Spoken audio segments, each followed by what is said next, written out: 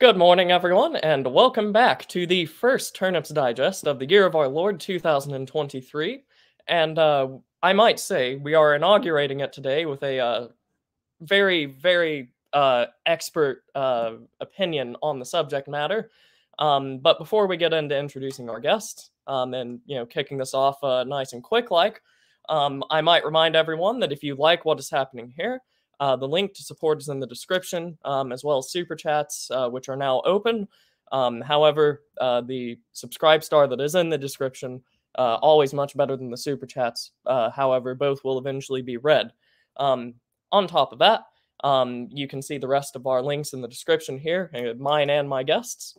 And yeah, we should have a lot more subjects coming up this this year. Um, I know that uh, Mr. Prudentialist and I have talked about going over some of the uh, paleo conservative uh, political writings from the last century and some of their forebears.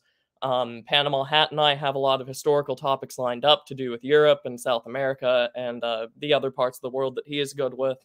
Um, I have a couple of uh, potential uh, conversations lined up with completely different people that have yet to be on. some people from the Mises Institute, like Tho Bishop, we have uh, I have talked with uh, Frodi Midjord uh, to uh, do a, uh, discussion, perhaps on the younger generations or the older alt right, something along those lines.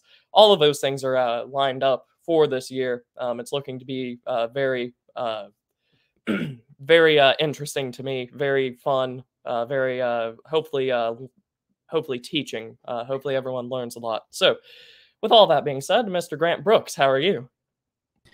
Doing well. How about yourself?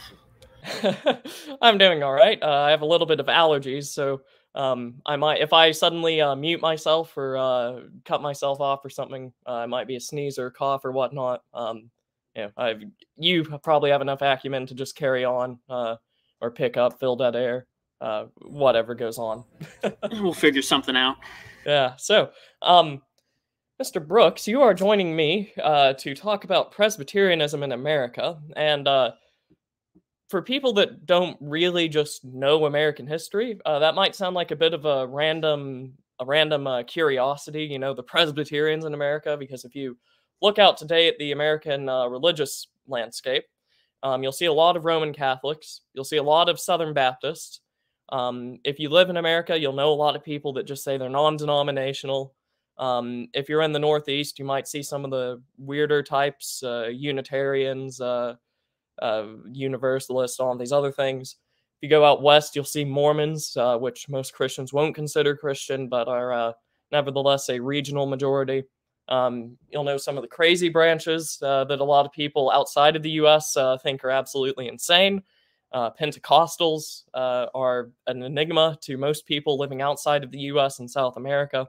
Um, so Presbyterianism, uh, much like some of the other older religious denominations in America, like say the Episcopalians, um, some of the older Lutherans, uh, which had a uh, influence on the founding of the country, uh, has fallen slightly by the wayside, um, at least in sort of the uh, national consciousness.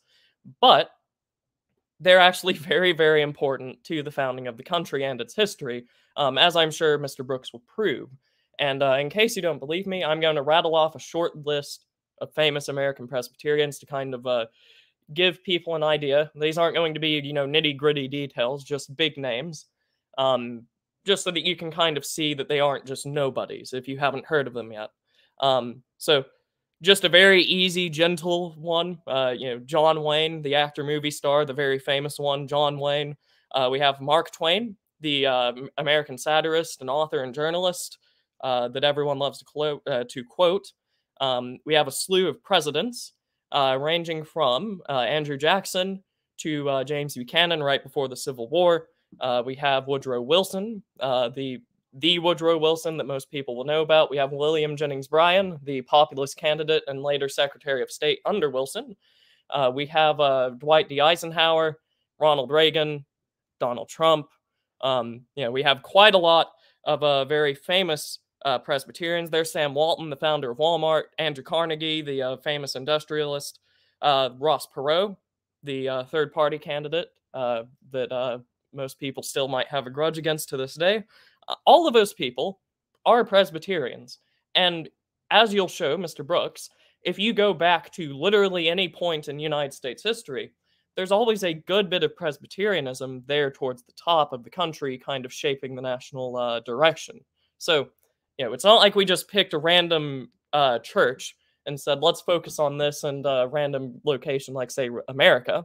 Um, this is actually key to understanding the development and the character of the country. So, uh, Mr. Brooks, I uh, believe you are now the uh, now going to be the presenter because this is uh, something that you know far more than I do. Yes. So I myself am a Presbyterian, and you're very right to point out that Presbyterianism in modern America is numerically very small. I think there's probably at max five million of them now. They're just they're not there aren't very many of them. But if you look at Presbyterianism historically, it's one of these denominations and one of these keys that's like a foundational piece of America in the sense that so much of the key things that are happening in America or key political leaders or such, Presbyterians are almost always involved, at least in some way. Eh, I mean, even the list of the presidents, if you go down and basically cross out Presbyterians and Episcopalians, you're going to cross out at least half of our presidents, if not probably a little bit more than that. So it's it's one of these things that that bears a lot a lot of its imprint on this country, even though it's it's actually pretty small. Uh, right, and and as as we uh, said, and as you'll later go on to uh, show, you know, it wasn't small once upon a time. It's just uh, uh, they have a uh, they they have a way of uh, you know working themselves into the uh, more respectable positions in the United States, probably because you know they built half of them. Um, you'll see that uh, if you go through a list of American governors throughout time, so a giant list, uh, governors, senators, representatives, electors, um, you know, any sort of uh, prestigious position in the United States, you'll see that half the list, if not far more, is going to be Anglicans or Episcopalians and Presbyterians, uh, which, um, as we covered in our stream uh, a few months ago when we were talking about the uh, sort of uh, Scot the Scottish Reformation and basically the birth of Presbyterianism, um, those two are kind of connected. Uh, so when you look at the United States and its founding, uh, focusing on this, you know, the remnant of the Church of England and then the Presbyterians, it, it will help people understand uh, why people thought the way they did uh, earlier on, uh, what the goal was, what their uh, ideals and philosophies were, uh, why the structure of the country itself is the way it is today. Uh, you might notice some parallels there with the Presbyterians. very important. So, Mr. Brooks, back to you. Yes. So, when we survey the very early um, landscape in colonial America, so like 17th century, right? There's the ones that everyone knows. There's the the more cavalier types in the South who are much more of the old Church of England, and you have the Puritans in New England. And there are a few Presbyterians in New England, but it's mostly Congregationalists. Where the Presbyterians are coming to dominate is four, well, well, they're states now, but they were colonies at the time and that's New Jersey, Pennsylvania, Delaware, and Maryland. New Jersey, more than any other one, is known as the Presbyterian stronghold, but they actually have quite a great deal of influence in all the rest of these uh, colonies, including really founding one of them and sort of fundamentally altering one of the other ones and the the Presbyterians who are coming over in the early days, they're by vast majority either Scots Irish or Scottish. There are plenty of English Presbyterians, but the the bulk of the Presbyterians are coming from uh, Northern Ireland or Scotland. And this this guy, Francis Makemie, is considered kind of a father of American Presbyterianism. That's the title that he's given by the Presbyterian Historical Society um, of America. He's a Scots Irish minister and he decides to come over fairly early on. I want to say like mid to late 1600s to help found an actual Presbyterian structure in America because there are plenty of Presbyterians and there are quite a few Presbyterian churches. But to very briefly give an overview, the way Presbyterianism works in its church structure and church government, it's very small r Republican. So it's kind of building up structures. So they need or organization is something that they care a lot about and organizing in a way that's that's efficient and that you know you're not you don't have a bunch of stragglers and you don't have a bunch of like random people falling through the cracks basically so Makemie founds the synod of philadelphia in 1607 or 1706 sorry 1706 uh, and this is the first real organized presbyterian body in the united states Right, and we have a uh, we have a painting of Mr. Uh, or Reverend Makemie uh, on the screen right now, uh, so that people have sort of a visual view. Um, and just to clarify one thing earlier, for people that don't know um, uh, American religious denominations, um, the Congregationalists in New England are what most of you will know to be the Puritans, uh, which is a much broader brush to paint them with, but um, th- that's who we're talking about uh, when you were talking about the religious character of the Northeast in particular. So, uh, but anyways, uh, carry on. Right, exactly. And this this kind of dates back to the English Civil War. You know, the the Presbyterians are Puritans as well.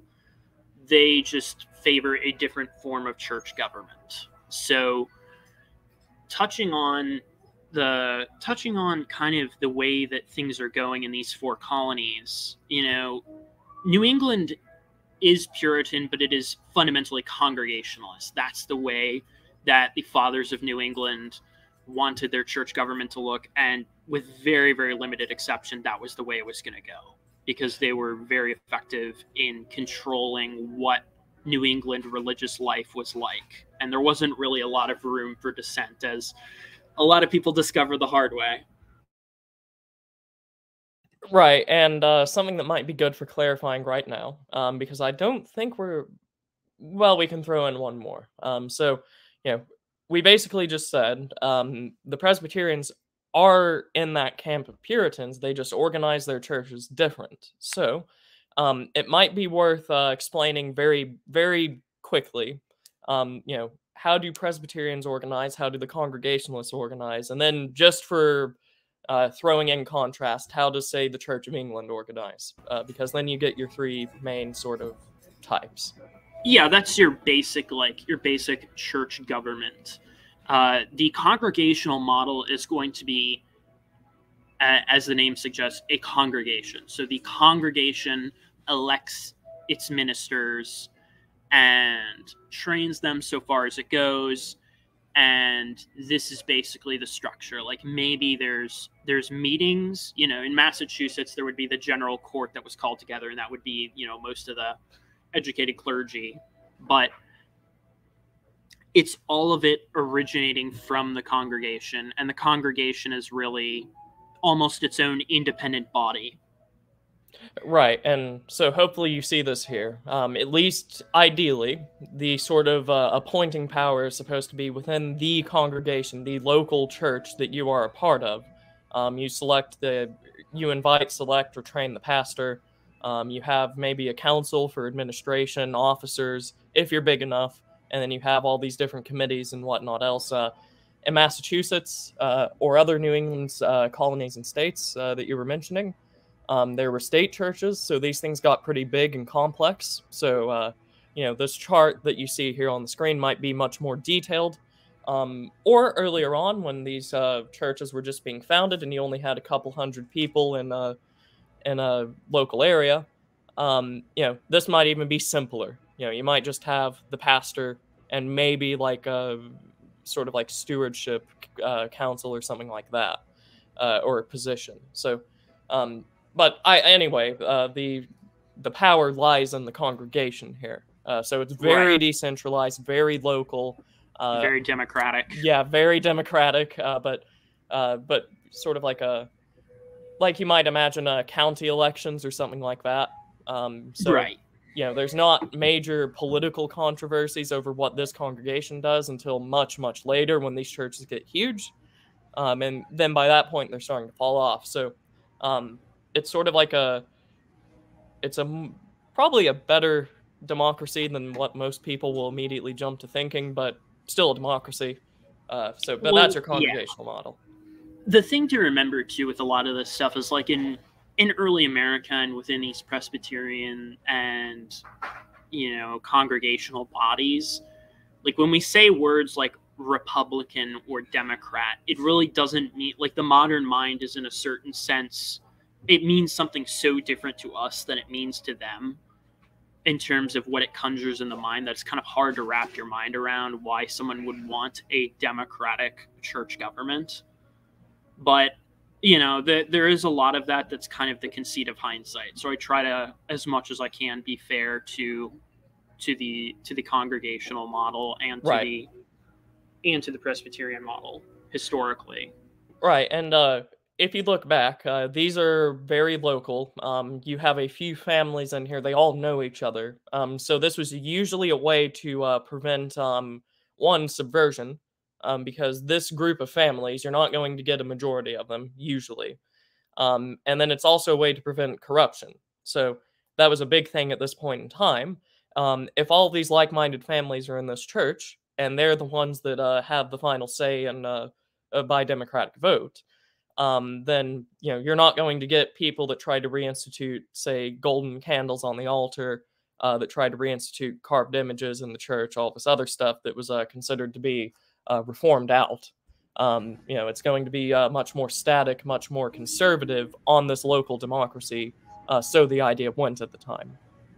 Right, exactly. And if you recall from our uh, stream last year about the history of the Presbyterian, or rather the Scottish Church and the Reformation there. You know, you had right. all these cases of like legit, illegitimate sons being appointed archbishop and all this stuff. And both with the Congregationalists and the Presbyterians, there is this long history of remembering this and being like, yeah, we want the opposite of that. No, no corruption, none of this like nepotism of these people who don't actually care. We want we want our preaching to be strong. We want our ministers to really know their stuff and to care. And that's a lot of what goes into this particular uh, view of localism that both the congregational model and the Presbyterian model have baked into them. Right, and I'll pull up a graph of the Presbyterians and get on to them. Uh, but just know that this is a sentiment shared by most uh, Calvinist denominations in America. So just jumping ahead slightly, if you look at a lot of these people, the number one thing that they will hate the government for is corruption and uh, you know wastefulness. Um, if you go around town to like the average American, they probably won't know what's happening in say the uh, the House or with executive orders or you know what's the biggest scandal online. Um, the the thing that they will always jump to their red meat is uh, look at how corrupt these politicians are.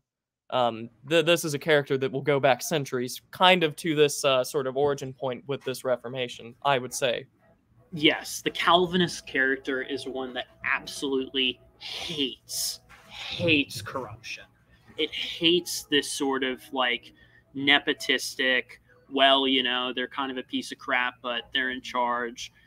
And frankly, I mean, sometimes it'll get them into trouble. A lot of the justification of some of the revolutions that even happen both in America and back in the old countries that are done by Calvinists is like look at how incredibly despotic and corrupt this government is. This government has absolutely no right to rule us, a virtuous God ordained people. We're not right. going to tolerate this crap.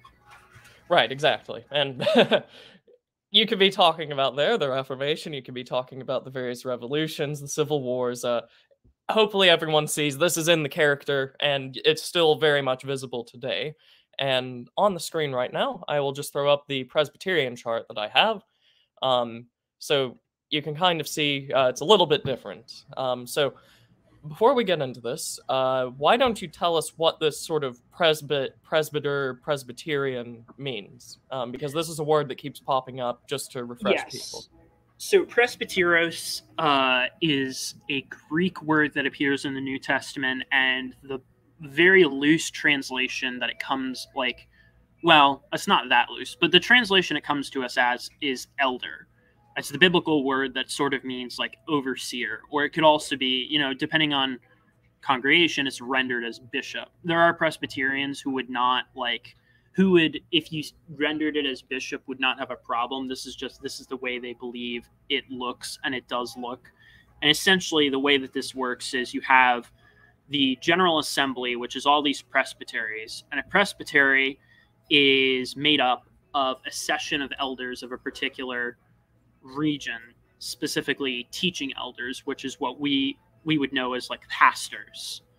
Uh, that's the position that they would be called. They would be called a teaching elder, and that's the people who more or less are running your church. You have teaching elders and ruling elders. Ruling elders would come from the congregation, and that's the that's some of the democratic structure, but the teaching elders are going to come from this broader body of the session of elders and the presbyteries that are training ministers. One of the things that the Presbyterians uh, have always cared deeply about is the education of their ministers, that their ministers would be theologically very competent. They would know what they're talking about. They would be careful teachers and readers of the word. And this is one of the things that actually gives them a lot of strength, but actually hindered their growth in America considerably is that Presbyterians refuse to compromise on this point as a general rule. They will not allow someone to teach in a church who has not been, in their view, properly educated. And you're not going to see the sort of thing that would happen in Baptist or Methodist churches where uh, a pastor might be trained sort of on the job or someone who it was just like, oh, well, they have a real talent for teaching. They would never be put right into that mode of teaching. It was always right. going to be after a long period of education. Right, and that doesn't lend themselves well to say frontier growth, uh, circuit riders, and all this other stuff where you don't have many people to go around. Uh, so, um, so basically, what happens? Uh, America, throughout basically its entire history up until the last century, just keeps pushing westward. More people keep settling, um, and you will have a shortage of skilled people as you uh, push out that frontier, uh, and it'll slowly catch up over time. Um, but what some churches did to accommodate this was they relaxed their standards. Uh, they would have one pastor or teacher uh, go between multiple churches on a uh, in a circuit is what it's called. Um, but usually this also just meant that you would relax a little bit more standards so that you could even do that. Um, the uh, the uh, churches that refused to com- uh, compromise on their education standard usually didn't follow this frontier growth, um, which is why you see Baptists and Methodists take over from the Congregationists uh, Congregationalists, the uh, Presbyterians, and the Church of England, uh, who usually did insist on this standard. Um, so just uh, you can kind of see that uh, conflict of aesthetics, if you will, there. Um, so the sort of American folk uh, folk aesthetic, you know, out on the frontier, very sort of localized. usually they will be Baptists or Methodists, and usually not the more what's considered the more established, uh, sometimes high church looking um, Eastern denominations like the Church of England, the Presbyterians, and whatnot else. That's exaggerating, uh, but you kind of see a sort of conflict in uh, cultural expression or aesthetic there, uh, which kind of ties in specifically to this point. They refuse to compromise on their uh, competency. Uh, so right and this is why too even even in the modern day and historically presbyterianism is mostly concentrated in the south and in the middle colonies where they had plenty of i mean frankly time but also plenty of resources to properly equip their ministers to reach the churches that they wanted to reach and where there were enough people that the churches you know really like made sense and you had a ton of them. And i mean there's something to be said too for like the south just having an inordinate amount of churches. Like it's it's almost a culture shock yeah. going from the south to say the mountain west where i've been much of my life. Because the mountain west you'll have like you know maybe one or two churches for a town and it's like well it's another half hour hour drive to the next town this is the South. You go into like the one town, it's like there are 12 churches. and you can go to and the next ten of them town are over. Baptist. Yeah, ten of them are bad. I mean, you just you're spoiled for choice, and there are a ton of them. It's just a sort of different, different organization and character in that sense. Right, and anyone that uh that has followed me long enough will know that I joke about Oklahoma being very southern. Uh, this is one of my argument argumentative points. If you go to a small rural town in Oklahoma, uh, you will find at least ten Baptist churches and maybe ten other churches that are you know one per denomination. So, um, and even as I I, uh, I went to Alabama uh, and actually stayed there for uh, much longer than I would usually do uh, back in the summer. And I remember when I was driving through, just uh, through you know country towns, um, their church they have more churches there than we do up here, even though their towns had less people in them usually, uh, where I'm situated right now. So, uh, when when uh when these people go on these streams or you hear it on the radio or in popular culture or whatnot, and they say that the South has a lot of churches, uh, you know, we mean it. That that, that is a stereotype for a good reason. Um, so, uh, with that, uh, is there anything else you wanted to cover on the uh, sort of Presbyterian model here? Uh, anything that would No? I think that I think that summarizes it rather well. We can dive right back into sort of the the specific colonial experience of why things went the way that they did. Right, and just before we do, this one will be very quick um, because when, especially outsiders, uh, imagine Christianity, um, I believe this is what they think of. Give me one moment here. Um, so, this is the um, the oh Episcopal, yes, the Episcopal model. model. So um, this is entirely um, top down. Um, you have an archbishop uh, who can be appointed or elected uh, in a variety of different ways, usually not by people in a congregation. Um, so this is sort of like a self-perpetuating model where the archbishop appoints bishops, and if it is an elected position, the bishops will vote on it. If it's not elected, um, you know, the archbishop is appointed by a higher power. Um, so, uh, and then those bishops will appoint uh, rectors, which will, you know, usually preach.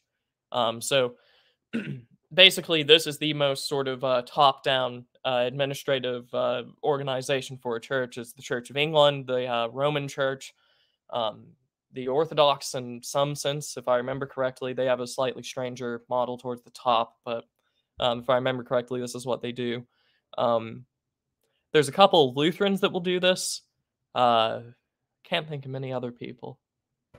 I think that about covers it. The thing the thing to note with this as well is that all three of these models in the colonial American experience, they're all Calvinist. Every single one of them. Yeah, And right, You can yeah. make the argument for which one is quote unquote more Calvinists, but all of them agree on what uh, what we in the modern day would call Calvinism.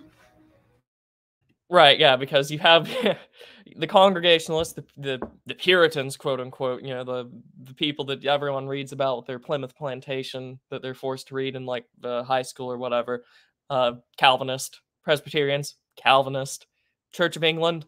Uh, gets a little iffy. Most people would consider them Calvinists. So, um, that those Well, are your models. At this time, they're Calvinist. Yeah. I mean, I think you can make an argument as to what the Church of England is as a general rule, and certainly once Methodism becomes a big thing. But in the Right. colonial American experience, particularly before the Revolution, the the Church of England in America is is deeply Calvinist.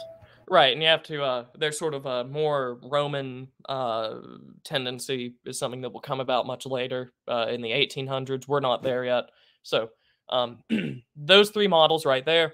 Um, you'll see a lot of Christian denominations that, that will say it doesn't necessarily. Uh, you know, you're not. A lot of denominations will say you're not breaking any sort of uh, biblical prohib- prohibitions if you just choose one. There are some that will absolutely insist on it. Um, that's a whole theological debate. It's not what we're here to talk about. So, um, just so that you all know, um, when we're talking about Presbyterians, we're talking about that second graph we presented that's much more classical Republican in structure.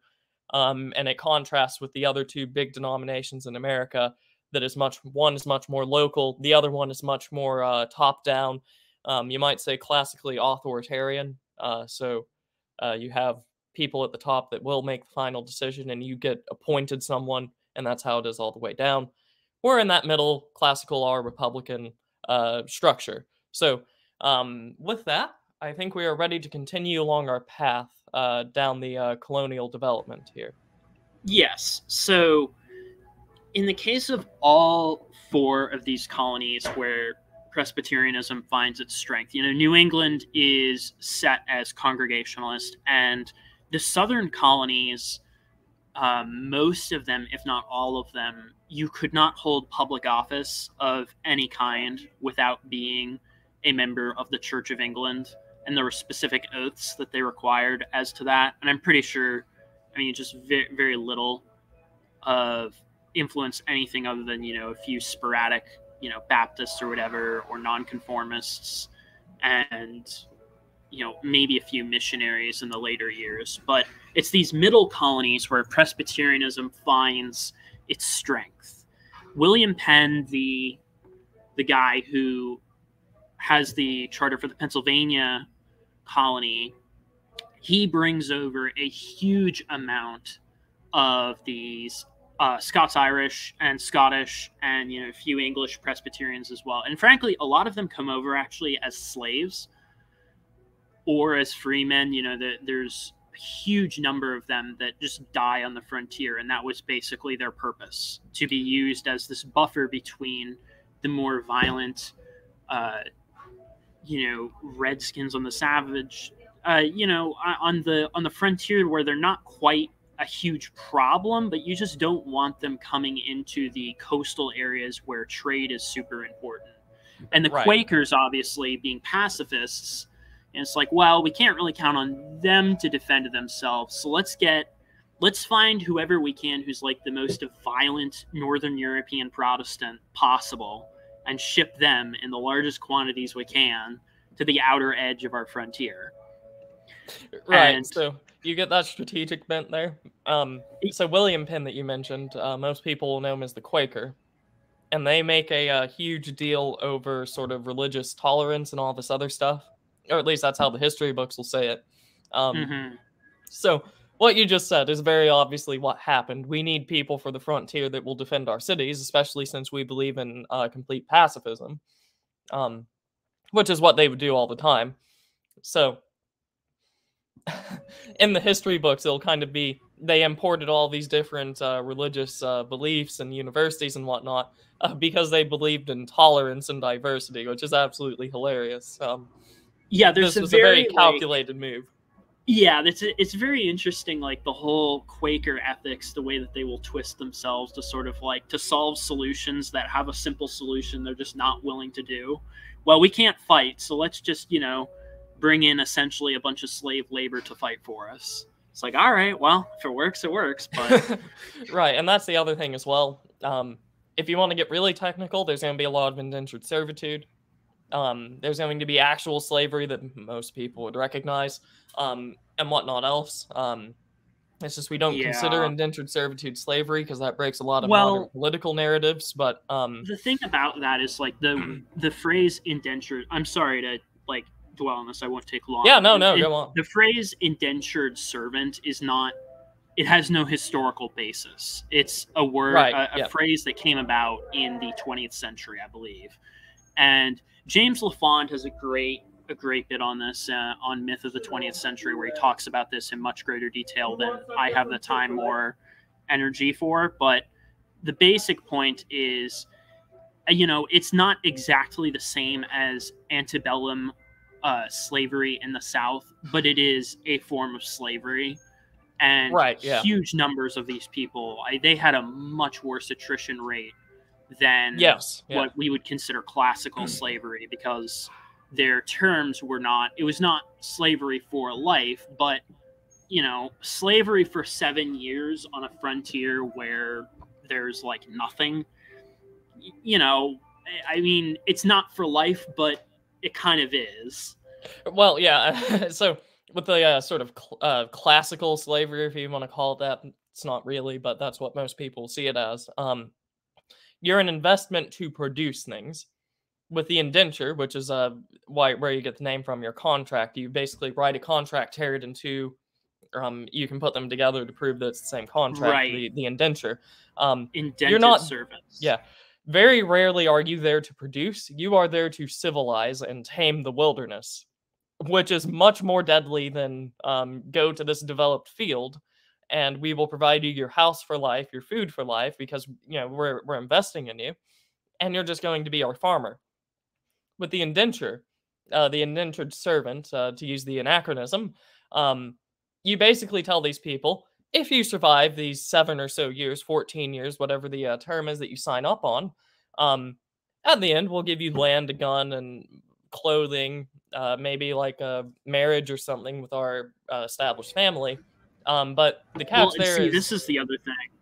Sorry to interject here, but the yeah, other yeah. thing that really makes me angry about the Quakers, see, the Quakers would not give them weapons, you know, because violence is against right. the idea of of a Quaker. They just send them out to the front, like, yeah, okay, just survive. No, but you can't have any weapons, because you know, because that would be that would be evil. Right. So, um, if you didn't get contracted by a Quaker, some you would usually get a gun, land, and uh, you would keep like a house or something right. that you built out there. Um, but the Quakers here, um, these are. Uh, there was a big push a couple of years ago to say they were the original social engineers in America, and that wasn't entirely incorrect. Um, some of them could have been very malicious with it. Some of them probably weren't. Um, if I were to give my bet, and you would know a lot more about this than I would, um, it's probably the same sort of thing with um, Americans today that will focus on the foreign missions above their own because they think it's more moral, even though it has a much worse impact on their own uh, home. Yeah, I, I see a lot of analogs there. I mean, you are you are asking me, and the Quakers are probably like the highest the highest people on my crap list in terms of denominations I cannot stand but uh, you know, I I think there's a lot to be said that probably a lot of them did they did genuinely believe this stuff and they thought they were doing the right thing. But yeah, their their record in colonial America is one that leaves me with a decidedly bitter taste in my mouth. Right. So um hopefully everyone has a picture there. And I think we're ready to go on. We have our uh exceedingly uh stern uh, and willing to do violence uh, frontiersmen now in Pennsylvania? Yes. So Delaware is a breakoff from Pennsylvania, and it's mostly Presbyterian or other Calvinist families who just decide that they're not going to tolerate being under the Penns and being under Quaker rule. So it's it's a pretty small state, obviously, compared to Pennsylvania, but you know they successfully break off. They are then their own thing. Uh, there's not a whole lot to comment about them. New Jersey is just one of these states that is just dominated by Presbyterian immigration, and the people there who aren't Presbyterians are actually a lot of them Dutch Calvinists, which is very, very similar. Like uh, Dutch Calvinism is kind of it's a blend. You know, some of them favor more Episcopal uh, church government. Some of them favor more Presbyterian, but they're very friendly to both. So, and New right. Jersey is where it might be college... worth saying. Um, just yeah. before we move on, the only reason that they're like different is because they developed in a different area. Um, because a lot of the times we'll get people that are new to this, um, and they'll sort of see the meme, why so many Protestant denominations, uh, without actually seeing the reason that there are so many is because they developed in different areas and you didn't have communication, but they mostly believe right. like 99% the same things half the time. Um, yeah. So these Dutch Calvinists are different. There's not like some giant uh, split where they split away from the uh, American Presbyterians because they like the Dutch version better. It's because they developed in the Netherlands in the Low Countries, and you can't really communicate with all the other Calvinists at the time because it's the uh, it's the 16th century. So um, that that's just why there's so many different things for the uh, for the new onlooker. Right, exactly. Like the there's almost no doctrinal disagreement between a Dutch Calvinist and say an English Presbyterian. Right. Yeah. So that's kind of New Jersey is worth commenting on as well because New Jersey New Jersey is one of the only states where uh, Presbyterianism is still the largest denomination in, say, like a particular county or something. And it's just because they totally dominate this area. And Princeton is is also New Jersey, and Princeton is like the Presbyterian school. We'll touch on this a little bit more, but even before the revolution, Princeton is like the Presbyterian elite school and has been that way basically its entire existence. Right. And if not just like the elite school of the country, like they I don't think you need to relegate that just to Presbyterians. Like most people would consider Princeton, uh, what would it be like top top ten in terms of just prestige, maybe yeah, top five. for sure. Um, especially its history. Its history department has probably shaped American historiography more than any other uh, university, except maybe some of the other Ivy League. Um, but you know, it, we'll get into why that is. But yeah. Yeah. Yes, so that's those cases. And I think those are all fairly straightforward. But Maryland, Maryland is very interesting because Maryland is founded as a Catholic colony. The Calvert family, who are, I believe, recusant Catholics, basically founded this little slice of America that would be Catholic for them and sort of a, a Catholic colony and their their wish for what it would be. And this takes place shortly, I want to say, this might be either during the English Civil War or shortly before or after it. Right, and um, it's it's worth saying. Um, we covered this. Uh, Panama Hat and I covered this ever so slightly. The sort of sentiment I'm about to describe on our Gunpowder Plot stream, and uh, we did as well on our uh, Scottish Reformation stream. Um, in England uh, and parts of Scotland, there was a huge distrust uh, for Catholics, and especially French sympathizing Catholics at the time. Um, if you know a little bit of English history and all whatnot else, not what we're here to discuss, you, know that that would make sense. Um, and you have a Catholic or a charter for this little area in the uh, New World around what's called the Potomac, um, just handed out to a very Roman Catholic family, um, and and a very prosperous one. Uh, credit where credit's due. They do end up producing quite a lot of influential things for their own denomination.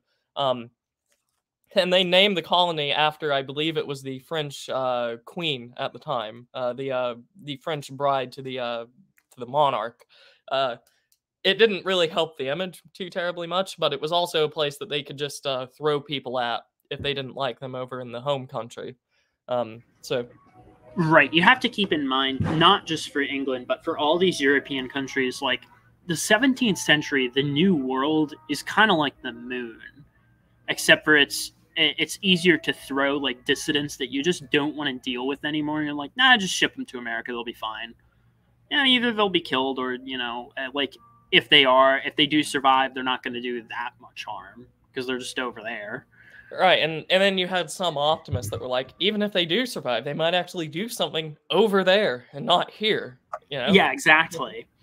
So you have you have a lot of that, but what has happened to Maryland is that you've had a huge amount of immigration from you know from these classic Scots Irish uh, Presbyterians and English Presbyterians and English Puritans and even some quite a bit of moving from New England. You know, New England wound up in a situation where they actually they had more people than they had space, which they had quite a bit of space, but you know, when you got those classic New England Puritan families where you got 12 kids to each son, you know, do that one or two or three generations and you have actually a pretty staggering amount of people. So you got a lot of moving. Yeah, especially at that time as well. Right. So Maryland winds up in a situation where it's ruled the way that they would call it, it ruled autocratically by literal Catholics. And all these sort of like low Calvinists are thinking to themselves, you know, like what what went wrong here? This is uh this is our country. They're not supposed to be here. You know, you have all this distrust that has built up over the previous several centuries. And then on top of that, just the idea of aristocracy in America, unless you're in very specific areas to these much like lower church Calvinists, it just kind of rubs them the wrong way. I, I think there's a lot to be said for a lot of the a lot of the conflict that happened here is a situation where it was a rare case of the aristocracy not being everything that like a low church Calvinist will accuse them of, because you know the Calvert family was not that bad, but Right, yeah. they were Catholic, and like that, the charge that was made of the English aristocracy, which was generally not true, it was generally true that they were they were just high church, but the like the middle class Calvinist critique is no, they're all papists, and we can't trust them because they're all papists.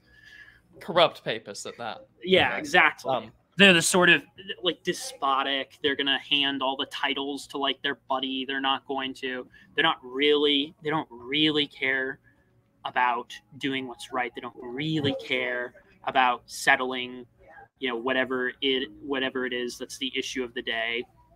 So there's a lot of pent up feeling of like these people ruling is a threat to our existence.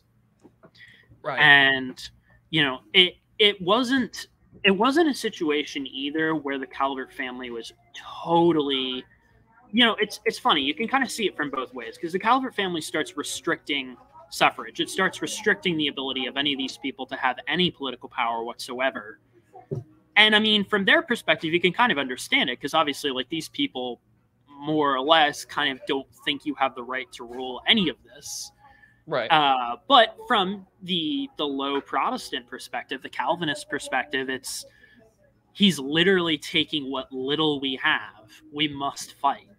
So you Right. have this situation that develops kind of alongside the Glorious Revolution back in England. That's called the Protestant Revolution in Maryland, and essentially your your middle class types who are sort of in the assembly but who don't really have a connection to the Calvert family. And this is one of the other complaints is like if you wanted power in Maryland, you basically had to like either marry into the Calvert family or else have some other like specific connection to it. right. And it And- really rubbed these people the wrong way. Right, and uh, I, I believe uh, just due to like a story that I uh, had in a book at one point in time, I talked to this on one of AA streams. It must have been like a year and a half ago at this point. I believe I described it as a Calvinist pirates taking down a uh, Catholic monarchy, um, which uh, a little bit oversimplified, but that's kind of what happened here for sort of like your uh, colonial adventure story. Um, Yeah, if you wanted to simplify it, like that is very much what happened. That's another thing that's sort of uh, that's sort of interesting. That's for maybe another day is Calvinism and piracy because there's actually quite a bit of connection there. But that's Yeah. another story.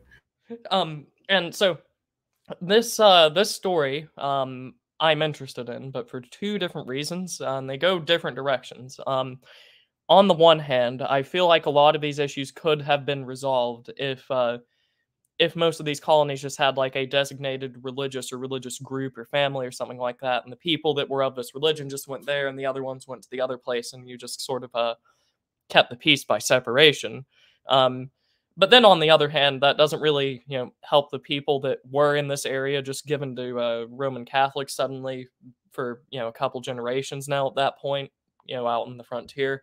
You know it doesn't really help them the people that have actually domesticated the land um so there's a conflict there and that's uh, for anyone looking onward that's wondering why isn't there just a uh the happy solution here that that's why uh, it's because it's not really a uh, you you have a lot of uh, vying interests here uh, because you also have the homeland to consider because they don't want to uh, keep dealing with perpetual Catholic revolts every time there's a succession of the monarch. Um, so why not just send them to the New World?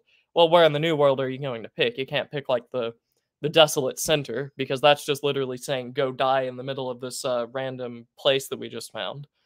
And you know, a lot of these people were usually friendly with the uh, lawmakers, the monarch, the executive.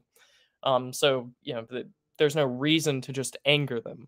Uh, so yeah, th- this is the uh, this is the complicated uh, situation that you have to deal with here.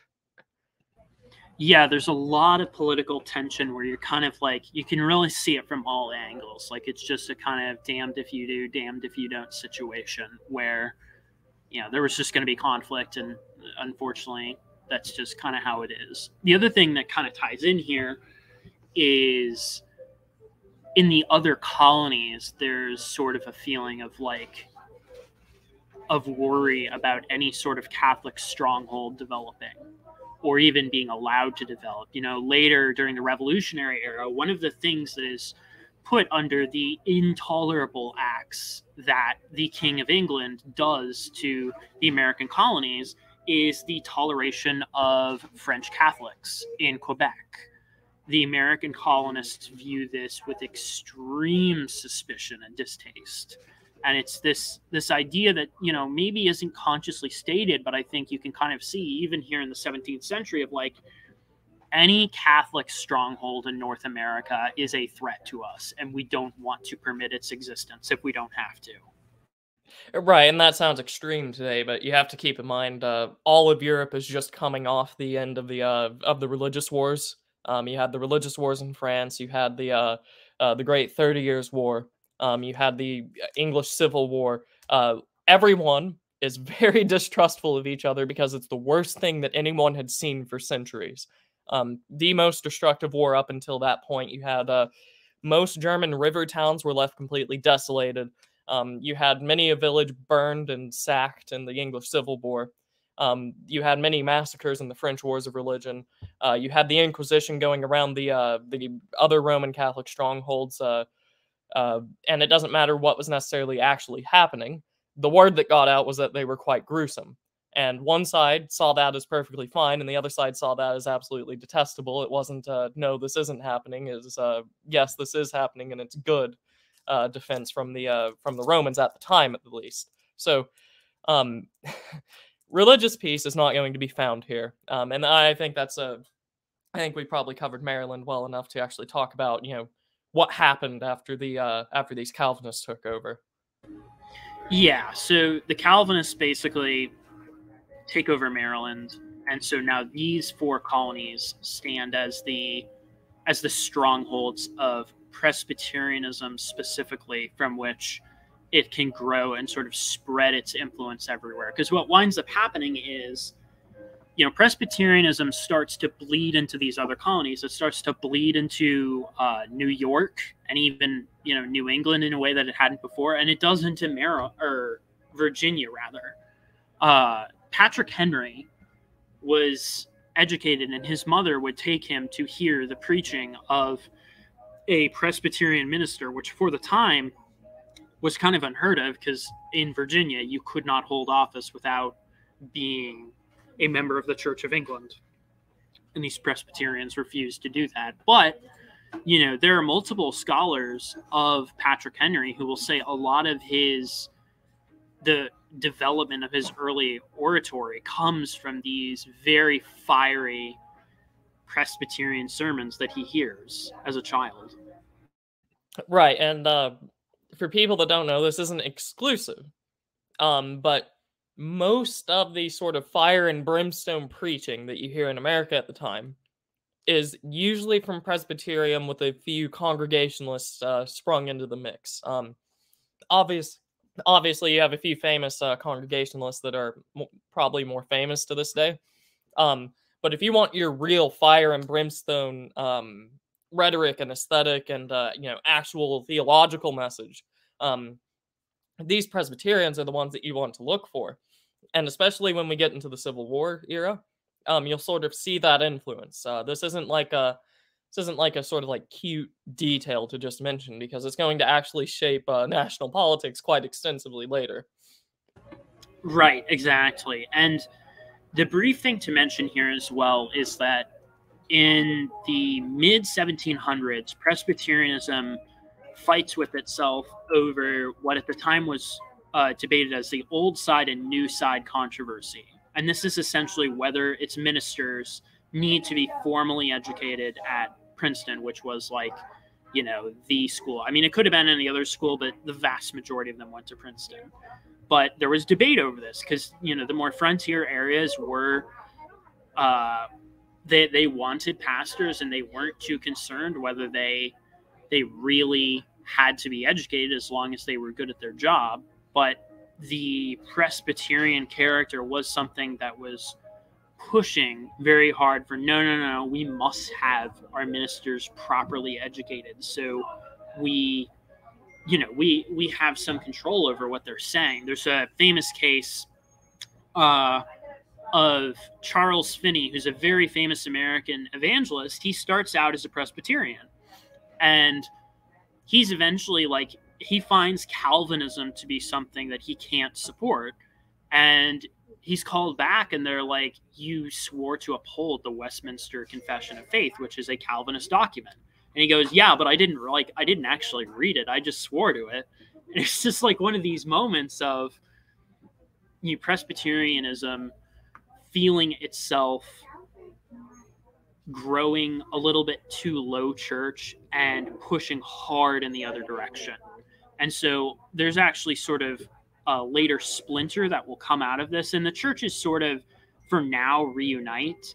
But there's later going to be a thing called the Cumberland Presbyterian Church, which is very, very small. And it's basically the only Presbyterians who don't believe in the formal education of their ministers. And they essentially got kicked out of the Presbyterian Church in America because of this, because there was this fear of like, look, if you just let evangelists and such run away with you, they're going to be, we have no idea what doctrine they're going to be tre- teaching, and we can't trust them as such. Right. And just so that, uh, we didn't talk much about what actually, uh, you know, Presbyterianism entails. Um, but if anyone uh, even remembers some of the evangelical stuff that I did with AA, especially the first stream where we went into sort of the uh, early part of this.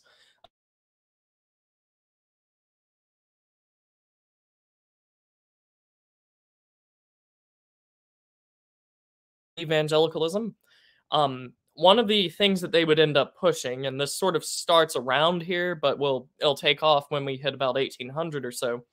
Um, and it already had happened in uh, Europe at this point in time with its pietist movement, um, was the idea that you don't baptize babies um, because they don't know what's actually happening. Happening, they don't have reason and all this other uh, stuff that you'd use to justify it.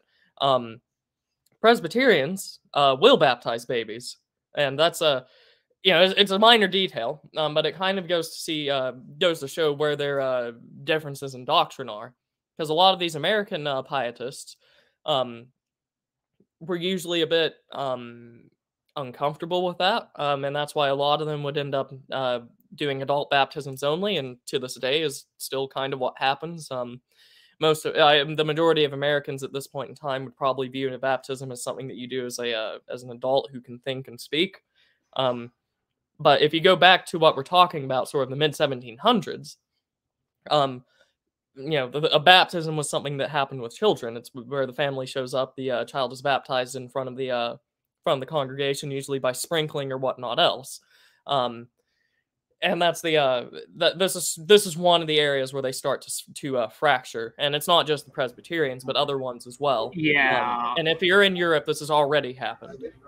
Right. This is this is coming over to America a little bit later, but the Pietist movement really does does kind of a number on American Christianity, and I think I think there's a lot to be said that pietism is almost like a fault line that runs through American Christianity, whether you view it as a positive or negative innovation. It splits not just the not just the Presbyterians, but really all of these denominations. And if you look at what happens to New England, in a lot of ways, pietism is one of these things that really kind of cuts off the if you want to call it that, the Puritan theocracy off at the knees. Yeah. Um, and that's for two reasons. Um, so if you haven't noticed yet, there's a lot of demographic problems here. Um, with the Calvin or with the Calvinists taking over Maryland, it was demographics. Um, with the uh, Pennsylvanians originally being under a Welsh uh, a Welsh uh, Quaker colony, um, that will later give way to literally everything else. And then now, in New England with their congregationalist, very extremely conservative congregationalist uh, systems of government, you would have a large inflow of uh, basically pietists from the old world, while at the same time these people would be converting the old, uh, what were called the old lights or the uh, the old school, uh, depending on which congregation or uh, denomination you're in. Um, they would be converting them until the point where the the old conservative system didn't have the people to keep it afloat any longer. And it would basically just sort of uh, peter out and uh, just uh, stumble along until it would eventually just uh, subsume into something else. So, um, would you like to? Uh, do we want to touch more on exactly what the uh, sort of new sides were saying? Um, because that that's a little bit, but uh, I I figure there's probably a little bit more uh, doctrinal difference there. Well, I mean, there is and there isn't. The trouble with pietism as such is that it's very, very difficult to get at. I mean, I, I, you being a Lutheran, I assume you have quite a bit of experience with this. But even like, if you will talk to, if you will talk to Baptists or even maybe Baptist adjacent people, you will run into a lot of this like spiritual but not religious. You know, no creeds but Christ. It's like they're not they're not saying things that are heretical exactly. It's just that they're being very, very doctrinally fuzzy, and that makes them very, very difficult to like, well, what actually do you believe? And more to the point, if you're going to be educating a congregation, if you're going to be leading them in the Word of God, what are you going to be teaching them? And you're kind of like, you almost don't have an answer. And the evangelical impulse you know the the counterweight there of saying like well we're getting them on you know the things that are truly important. You know it's it's very very complicated. A lot of the reason why both new england and the presbyterians and the episcopalians even struggle with this is like you know when you argue with a pietist about religion it's just very very difficult and it winds up almost like it can very easily turn into almost a an interrogation of your own faith. Well, are you really a Christian? You know, I know you believe all this doctrine stuff, but do you feel it the way I feel it? It's a it's almost a different way of like understanding and experiencing religion and so it's very very difficult it, it's almost it's not but in a certain sense it's way like an introduce it was like introducing a new form of christianity on some level into all of these denominations Right, and that's uh that's why you'll see uh in the modern day it has different connotations. Uh, but if you take this view that we're uh, crafting here, um, you can see that there is an evangelical part of Christianity in the U.S. at this point in time, and there's a very non-evangelical part of Christianity as well. Um, you know, th- these things will grow and develop along different paths; they will diverge. Um, but um, I think the key thing to understand here is um, most of these nominations, including the Presbyterians, will fight with themselves, split, um, will have a uh, I don't want to say development because that implies something theologically, but they will uh, clarify or uh, uh, argue or debate over specific things at this point in time um, because of this uh, pietist um, or uh, new light or new side influence here. Yeah, exactly. Now, I will say you know the pietist presbyterians both old side and new side they are both extremely republican in terms of their yeah. smaller republican in terms of their political sensibilities so even though this is kind of tearing them apart they're still fundamentally united very united in terms of their politics right and this will be important especially for the revolution and also for the Civil War because these uh these small differences that we're talking about now will grow. Um, so I think if you're ready, uh, we can go into the uh, revolution. Um, yes, we talked about the intolerable uh, the intolerable mm-hmm. acts, and you know, I think about forty percent of my audience is American. Uh, once the videos hit about a thousand views or so, um, just to give a very, very brief overview, I know you and I have heard it to the back of our teeth what caused the American Revolution, and we have the same list of events we could rattle off. Um, but uh, why don't you give like a very brief overview? What was happening in the colonies? Uh, why was there this split developing? What were the intolerable acts? What was the response? Yeah, very quickly. Okay, so you have a couple things to hit on. First of all, the American colonies have developed for the last you know hundred or more years. You know, there, there's been a lot of influence from England, obviously, but there has been a lot of independence in the way that they conduct their business. You know, the Old Glory Club did a good stream on this where they talked about how New England started minting their own currency in the 17th century, which was extremely illegal but they kind of got away with it by you know whenever the king would be like, "Hey, what are you doing?" They would just send him a bunch of tribute and not send any representative. They didn't even attempt to explain their actions. They just tried to kind of appease him, and it actually kind of worked. Um, and the other colonies, you know, it's not quite to the same degree, but there is a, a very strong sort of spirit of independence.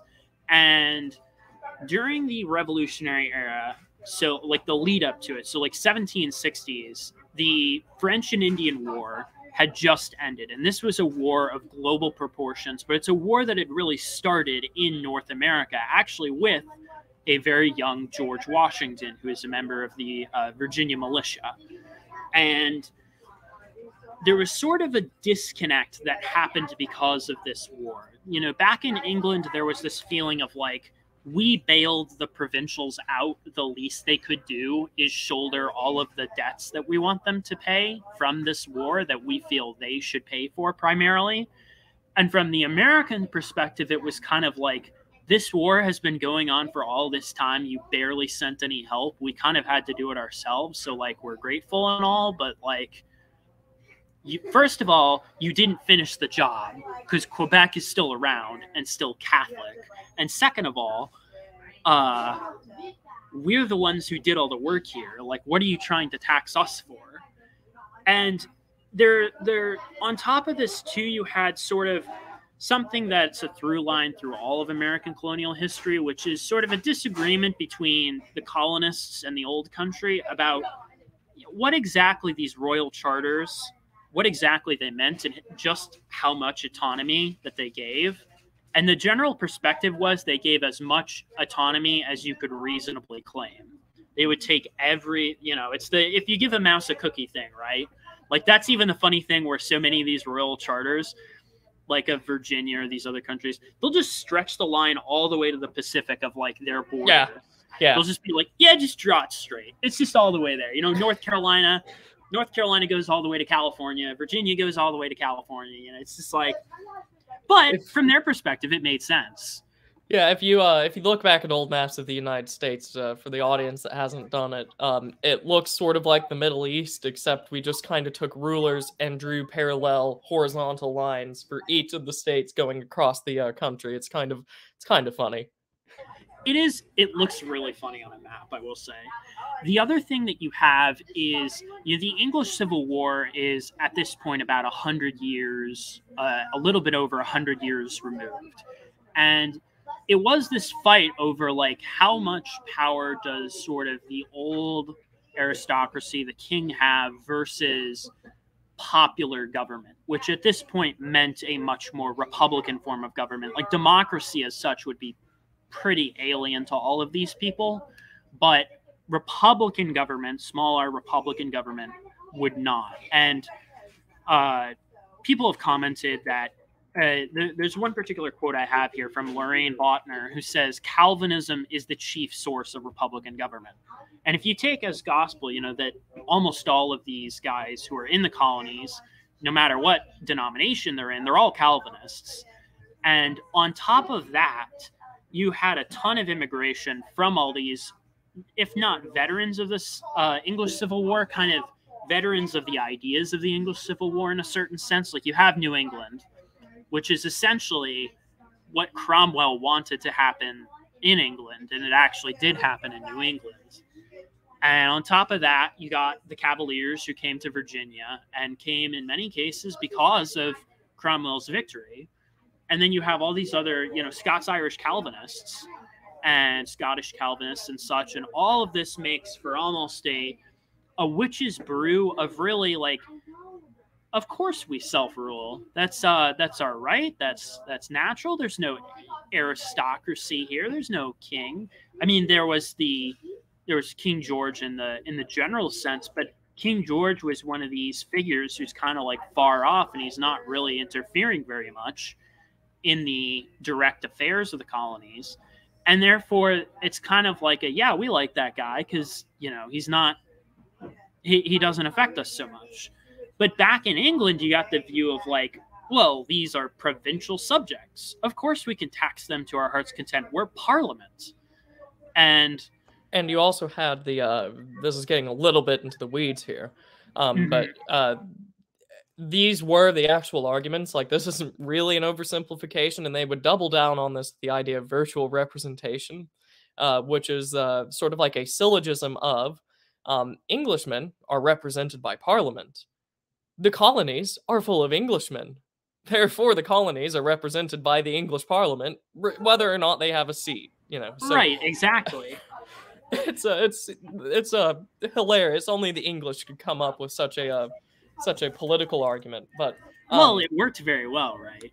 But okay, but it's interesting too, right? Like Edmund Burke, the chief parliamentary, I guess you could say, champion of American independence, is himself a Presbyterian and a very strong one. right. Um, and and once again, if you haven't caught uh what Mr. Brooks uh, presented to Panama Hat and I and uh, Mr. Nathan Hood, um, you know, we we talked a little bit about the Presbyterian character over on the British Isles, though we didn't quite get to Edmund Burke. Um, but that's sort of like the uh, lead up to it.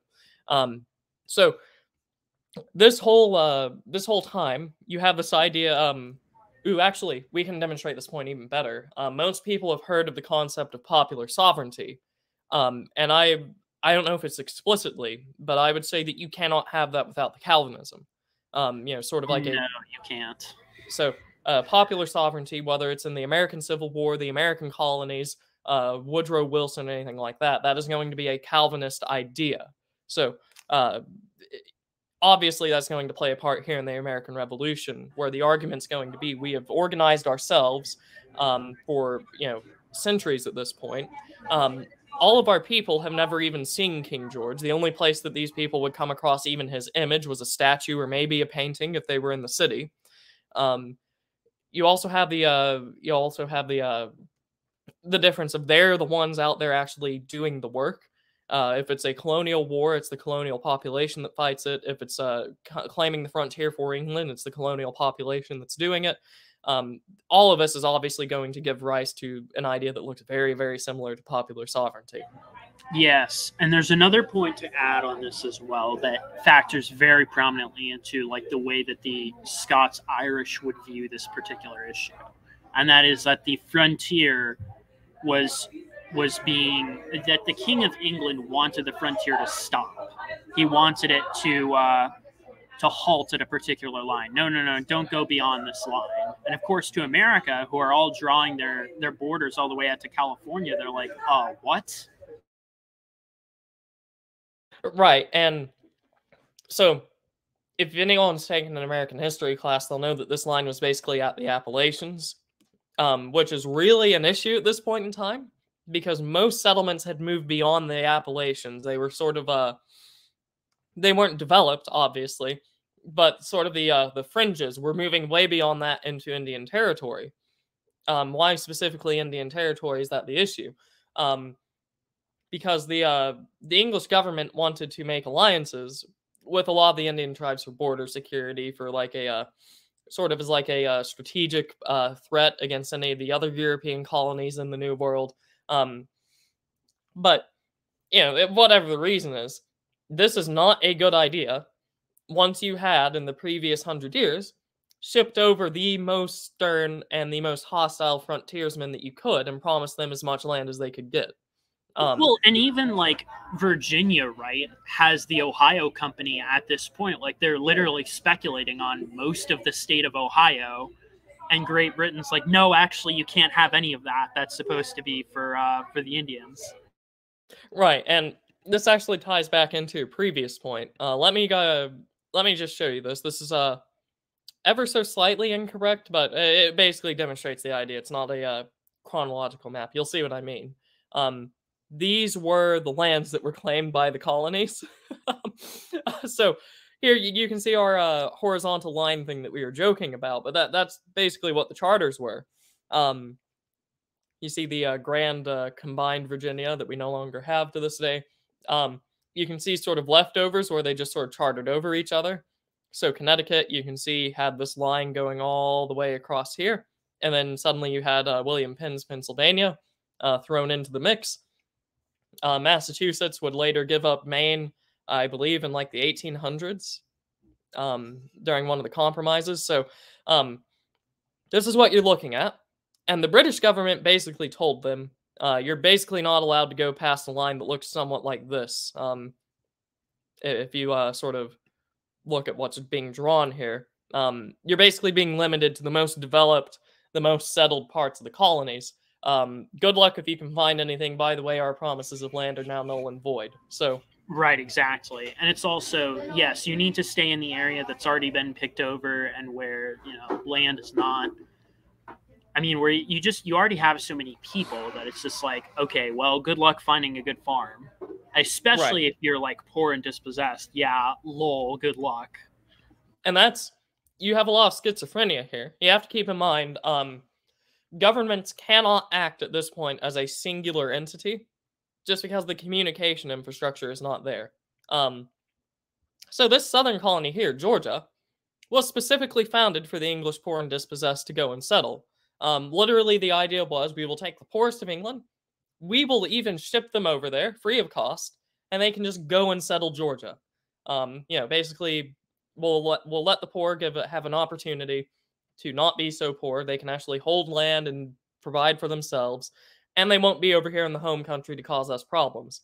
Um, basically, I believe it would be uh, 15 years, give or take, after this colony was actually legally founded.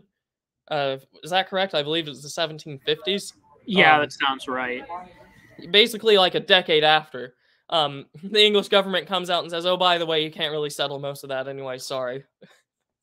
yeah, literally. Well, so, okay, in the 1750s, the other bit here is that, you know, having read the writings of Benjamin Franklin and a few other people, but Franklin particularly, you kind of get the idea, you know, decades before the revolution, mm-hmm. that there are angling for independence already.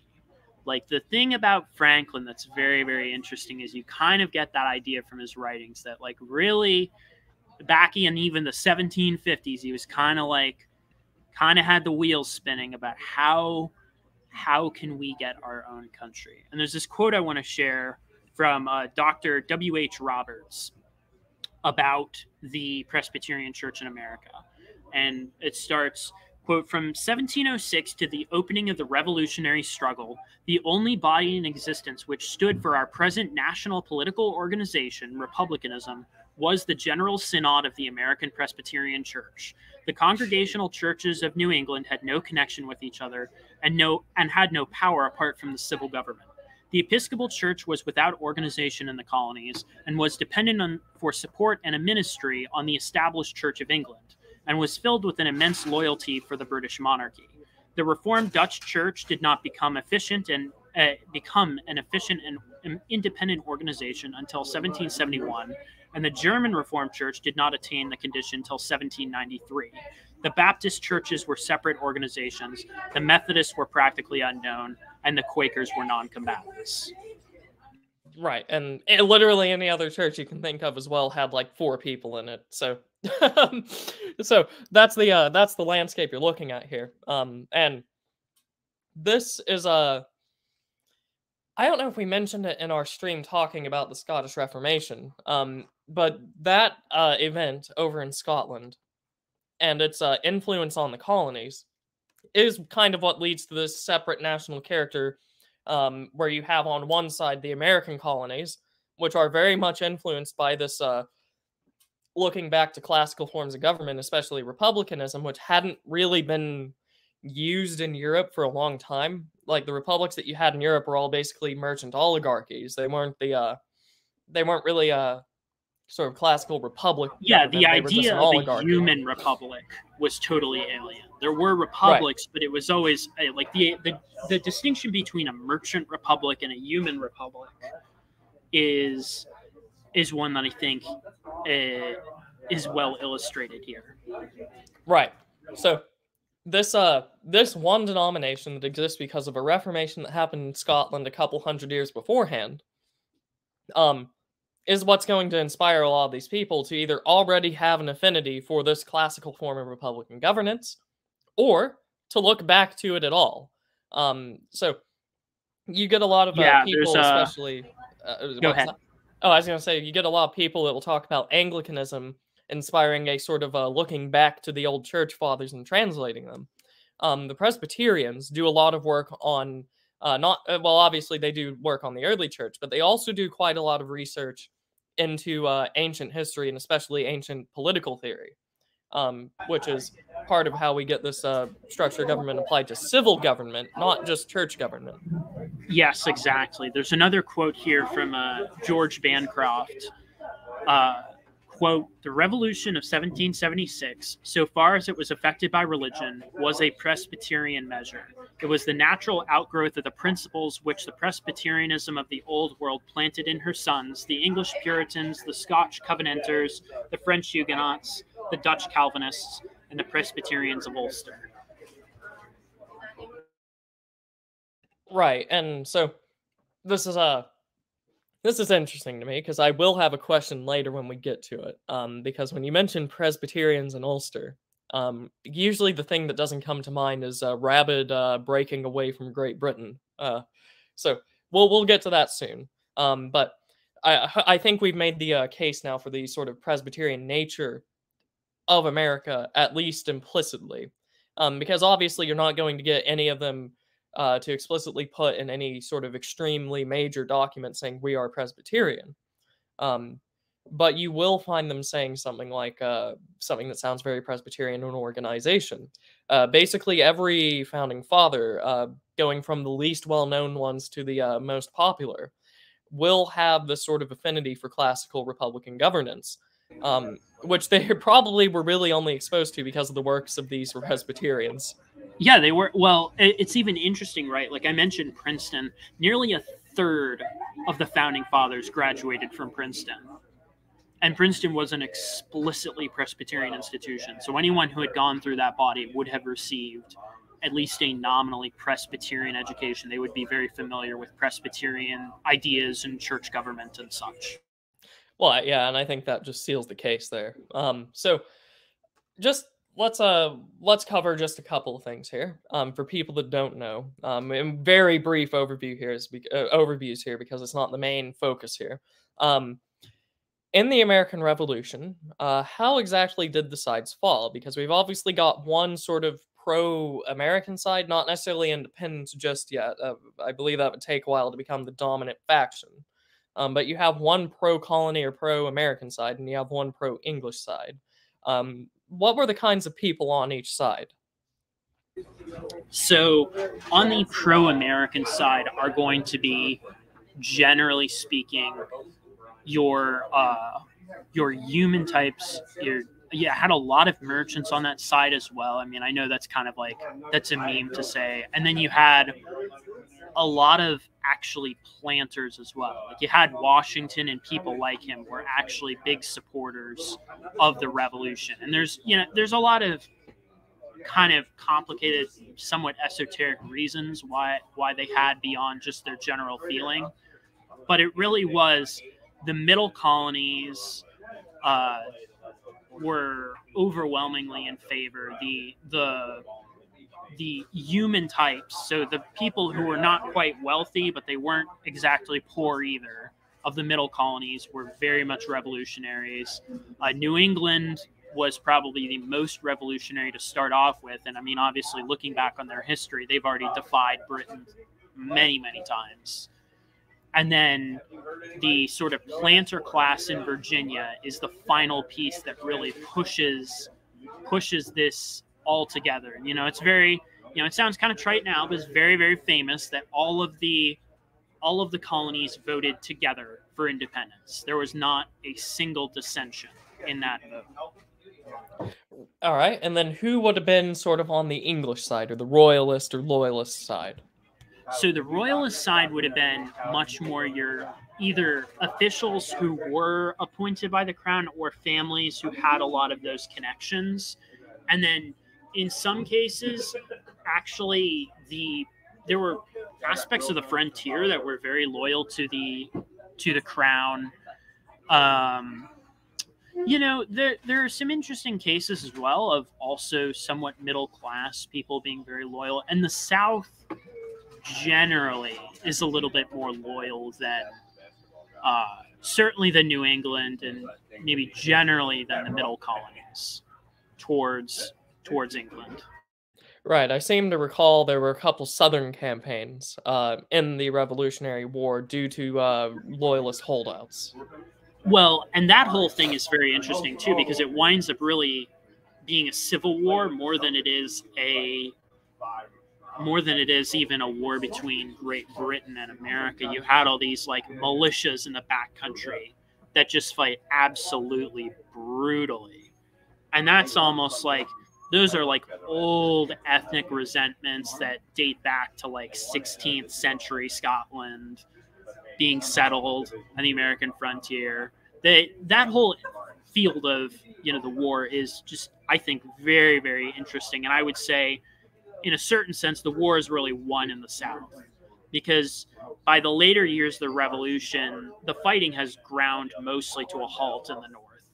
After the campaigns where Burgoyne was uh, defeated at Bennington and Saratoga, well, he won at Bennington, but then lost at Saratoga, and some of the other just things that went wrong for the British in the North, there really wasn't actually that much fighting up there in the later years. But if you look at like South Carolina, for instance, the amount of fighting that took place there is just unbelievable. The amount of battles that took place, especially later in the war.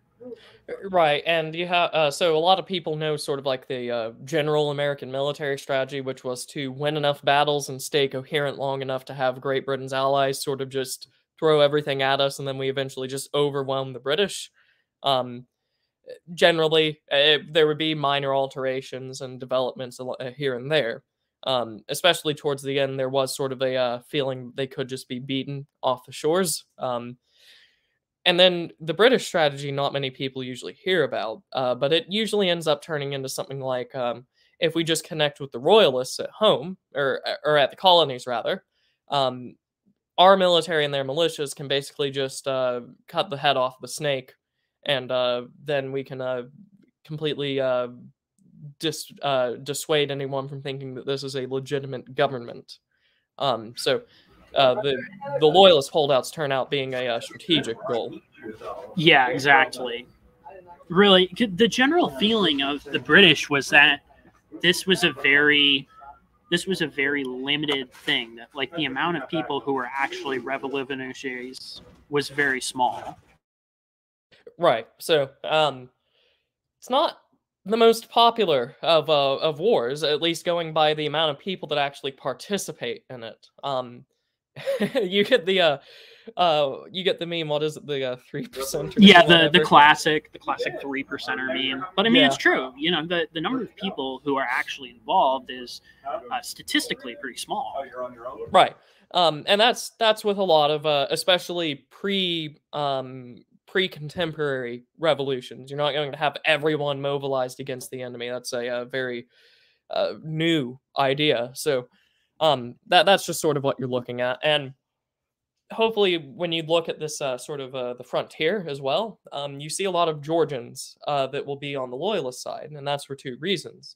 Um, that Georgia um, uh, founding uh, proclamation is very popular amongst the English poor that were there, so that really sort of uh, uh, puts the monarch in a very positive light for a long time. You know, here, here, the, here I am, the great monarch, and my royal governor giving you, the poor man, land for yourself.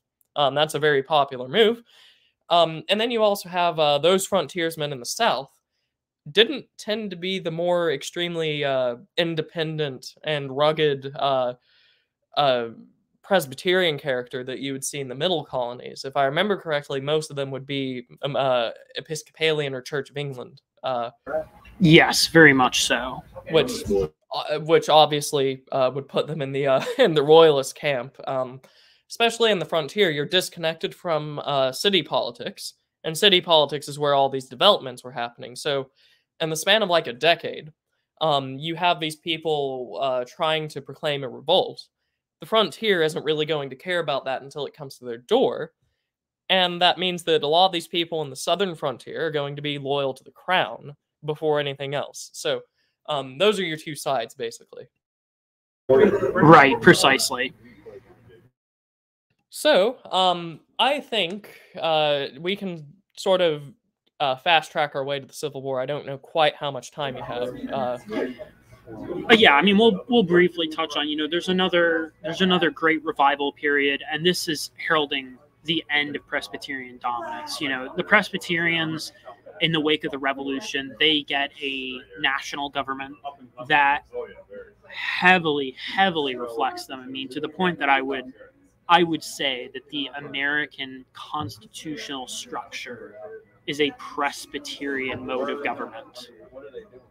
Well, very obviously, and if you look at the very original, uh, without uh, uh, organizational amendment, um, right, you see that the limited enfranchised people that were supposed to know what they were doing, you know, the competent people in the uh, country, uh, were supposed to elect a governor for their lo- local area, and then this governor could then appoint electors and whatnot else, senators, um, and uh, these electors uh, would then basically select who the president was going to be. Um, you know, taking um, advice from votes and all this other stuff and uh, different sorts of political campaigning. Um, and if that sounds familiar, it's because at the beginning we talked about these local congregations would select, uh, you know, various different types of presbyters that would go to a general assembly, and the general assembly would then hand back different people to those local congregations and itself be influenced by the uh, by the local congregations that they're also influencing, because this national government would then um, have a lot of uh, say in the judiciary. Um, it would have a lot of say in the legislative development. Um, so it, it is very very Presbyterian. Indeed, it is. So, jumping kind of from that, we go to uh, obviously on the frontier, the Presbyterians really fall behind. So, their strength is still in the middle colonies and in the south, really, is where they draw the vast majority of their churches and their ministers. Right, and uh, as America will develop, um, it should be obvious this is going to lead to what might be called sectional interests. Um, because there is this localized uh, form of government, uh, different parts of the country are going to develop in different ways, uh, which is going to lead to a divide in uh, regional uh, character. So um, that sort of southern separatism that you still see to this day is going to come about. Uh, a lot of people say because of the geography and the political economy and whatnot else that lends itself to a more agricultural and uh, plantation style of production, which means that society is going to be based around that because that's its wealth generator, that's where its aristocracy is, that's where its uh, ruling class is from. Whereas the North is going to industrialize faster um, and favor more protectionist uh, policies. It's going to eh, whatnot else um, because its geography and its political class and its political economy does not lend itself to these uh, landholding uh, aristocratic classes. It's going to be more of the industrious middle class. Um, religions will develop along the same lines. They will uh, follow these differences. So um, yeah, even northern and southern like Presbyterianism yeah. kind of develop a little bit differently. You know, the Pietism has more influence, a perceived influence at least, in the north than it does in the south among the Presbyterians.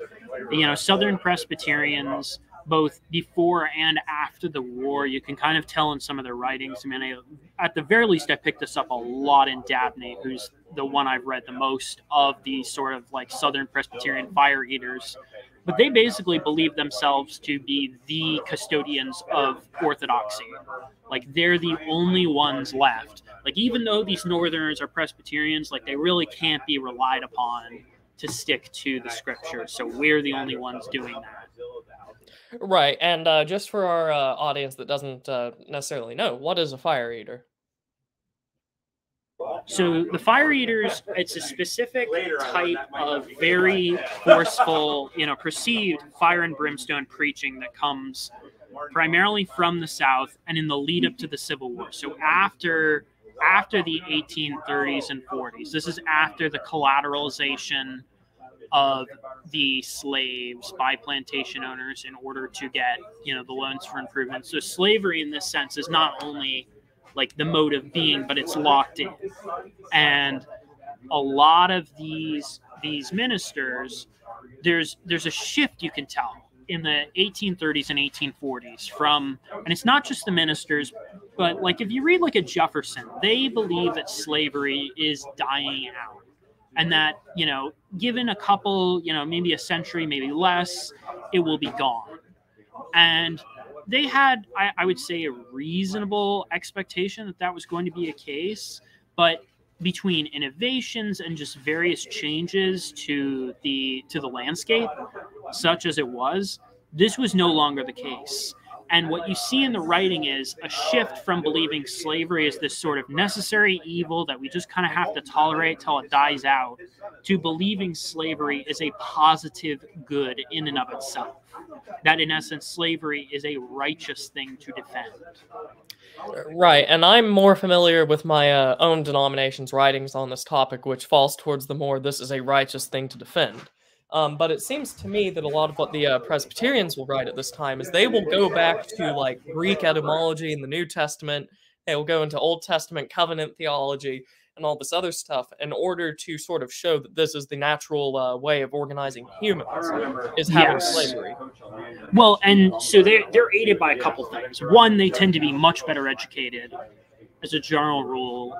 I well, maybe that's not even true. It's not maybe that they're better educated. They just made so much better arguments than their opponents. I mean, if you read a lot of the abolitionist literature, it's very it's very emotional it's very, in a certain sense, if you wanted to call it that, manipulative. Uh, you know, of like, uh, how could you do this? Like a literal, like, how could you, as a good person, support this? And the fire eaters and Presbyterians, they're much more focused on, well, okay, here's Aristotle's quote about natural slavery and just that as a as a reality of human existence here's the quotes about slavery in the Bible. Here's the book of Philemon, where Paul tells the slave to return to his master. You know, they they have much more well thought out arguments. Right, and if you go to uh, Dabney's sort of defense of slavery, there is a whole chapter dedicated in there to defining specifically what like the Greek word in the New Testament for slavery exactly means, um, which of you know you don't see sort of abolitionists doing that. They will sort of come up they'll say well it it sure it says this but it, it was practiced slightly differently they'll they'll do the it can't mean that. It couldn't right. have meant that right and and that's ultimately because all their appeals go to uh, humanism is what we would call it theologically um, it goes to a sort of a secular uh, human construction of human organization uh, instead of a uh, sort of self-proving uh, organization that uh, the fire eaters would find in scripture only. Um, which, if that sounds similar, you know, appealing to secular humanism over scripture itself, um, this is an argument that will go on forever, basically. So, yeah, without, I mean, to uh, to kind of put a bow on this point, there's a quote that James Henley Thornwell gives at the at the outset of the Civil War, where he says, "quote The parties in this conflict are not merely abolitionists and slaveholders; they are atheists, socialists, communists, red Republicans, Jacobins on the one side, and friends of order and regulated freedom on the other." In one word, the world is a battleground. Christianity and atheism are the combatants, and progress and the progress of humanity is at stake. Right, and um, basically, as I said, I'm familiar with the Lutherans on this, and that they use basically the same sort of language. Like, uh, um, the guy that founded the uh, sort of the, the conservative Lutheran Synod, uh, the Missouri Synod, um, he would he would use the exact same things. He would call them atheist, socialist, communists. He would call them Jacobins, and he would call them um, uh, humanists as a very vile insult to him. So, uh, you know, this is a it's not just relegated to Presbyterians, I might uh, tell you. However, for our audience, they are going to be the main vector and a lot of the main research at this point in time. They have the institutions, um, they have the uh, actual brain power. Um, you know, they, these are, uh, as a demographic, very intelligent people, um, and some of the only educated ones in the country at this time. Which is why in 1860, you know, their ministers can write books on translating and on uh, the historiosity of Roman slavery and all this other stuff. So getting out of all of that, I think it might be wor- worth mentioning, sort of in the uh, antebellum, um, what were the Presbyterians doing? They were basically running the country on the local level. Um, I mentioned at the outset, if you go through a lot of American governors, um, you're going to find a lot of Presbyterians, um, especially uh, at the turn of the century into the 1800s. Um, a lot of the country is going to be led by very, very competent Presbyterians. Um, uh, there's you, you, can talk a lot about their legacies, but uh, just to give a one example, uh, DeWitt Clinton, uh, New York, uh, was a Presbyterian, very well-known statesman, responsible for the Erie Canal. these were very industrious and far-planning men uh, even in their developments, uh, which you can have opinions on. Um, but in the modern day, at least, we don't get things like the Erie Canal anymore. We get uh, short-sighted, uh, you know, political engineering. So, um, you know, that that's what they were doing, sort of in the antebellum uh, across the country, basically, uh, was similar things to that. Yes, they they dominate the state legislatures. They dominate the governor's offices. It's it's just kind of it's something that so naturally favors them. It's almost like it just totally makes sense. Like I want to say, the, the, one of the figures that I had written down here is that uh, when when the Battle of Yorktown happened, all of the colonels in the Continental Army, but one of them, were Presbyterian elders, which is just like a staggering figure and it's something like more than half of the officer class were all Presbyterians. Right. So, um, I, I think we've uh, made the point here. They are uh, exactly what they are doing in the country. So, um, let's talk a little bit more about those fire eaters and uh, their uh, influence, especially on Southern political economy. Um, so just to give a better idea to our audience, um, are these just people on the national scale? Are they church ministers? Uh, wh- where are these fire eaters? Where are they speaking? Who are they speaking to? And uh, you know, give a little bit more for them. Well, they're generally actually going to be on the local level. I mean, you have very notable ones who are going to be, you know, your your big writers.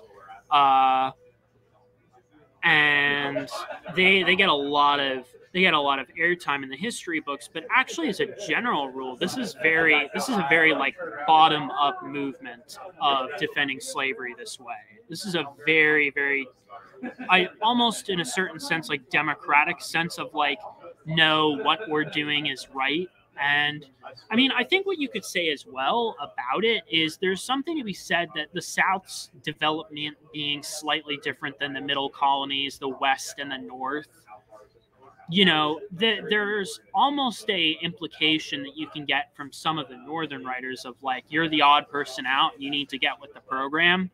I think for a lot of these people, it's like, no, we we love the civilization that we've built, and there's absolutely nothing wrong with it. If anything, you're the people who have something wrong with you.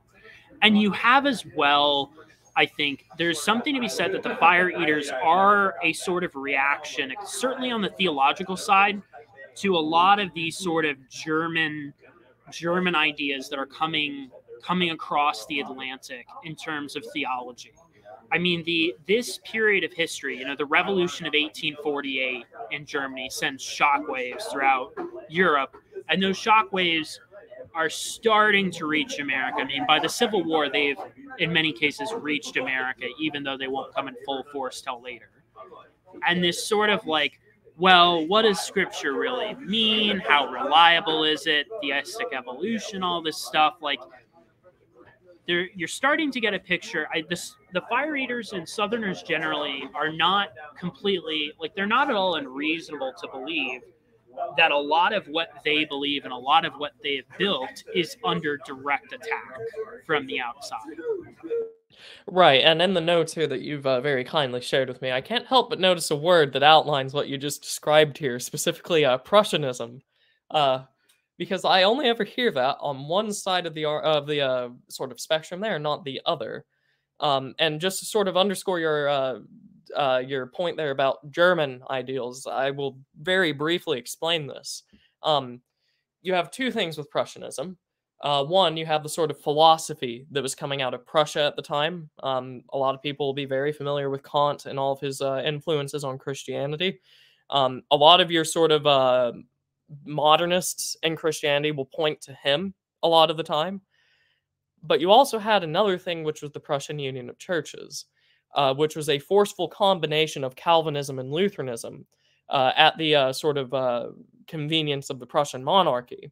Um, I don't like simplified stories because it's not entirely true here, uh, but the sort of the story goes that the Prussian monarch was a Calvinist and his wife was a Lutheran. They wanted to commune together, and none of the churches would agree, so that he basically forced a combination.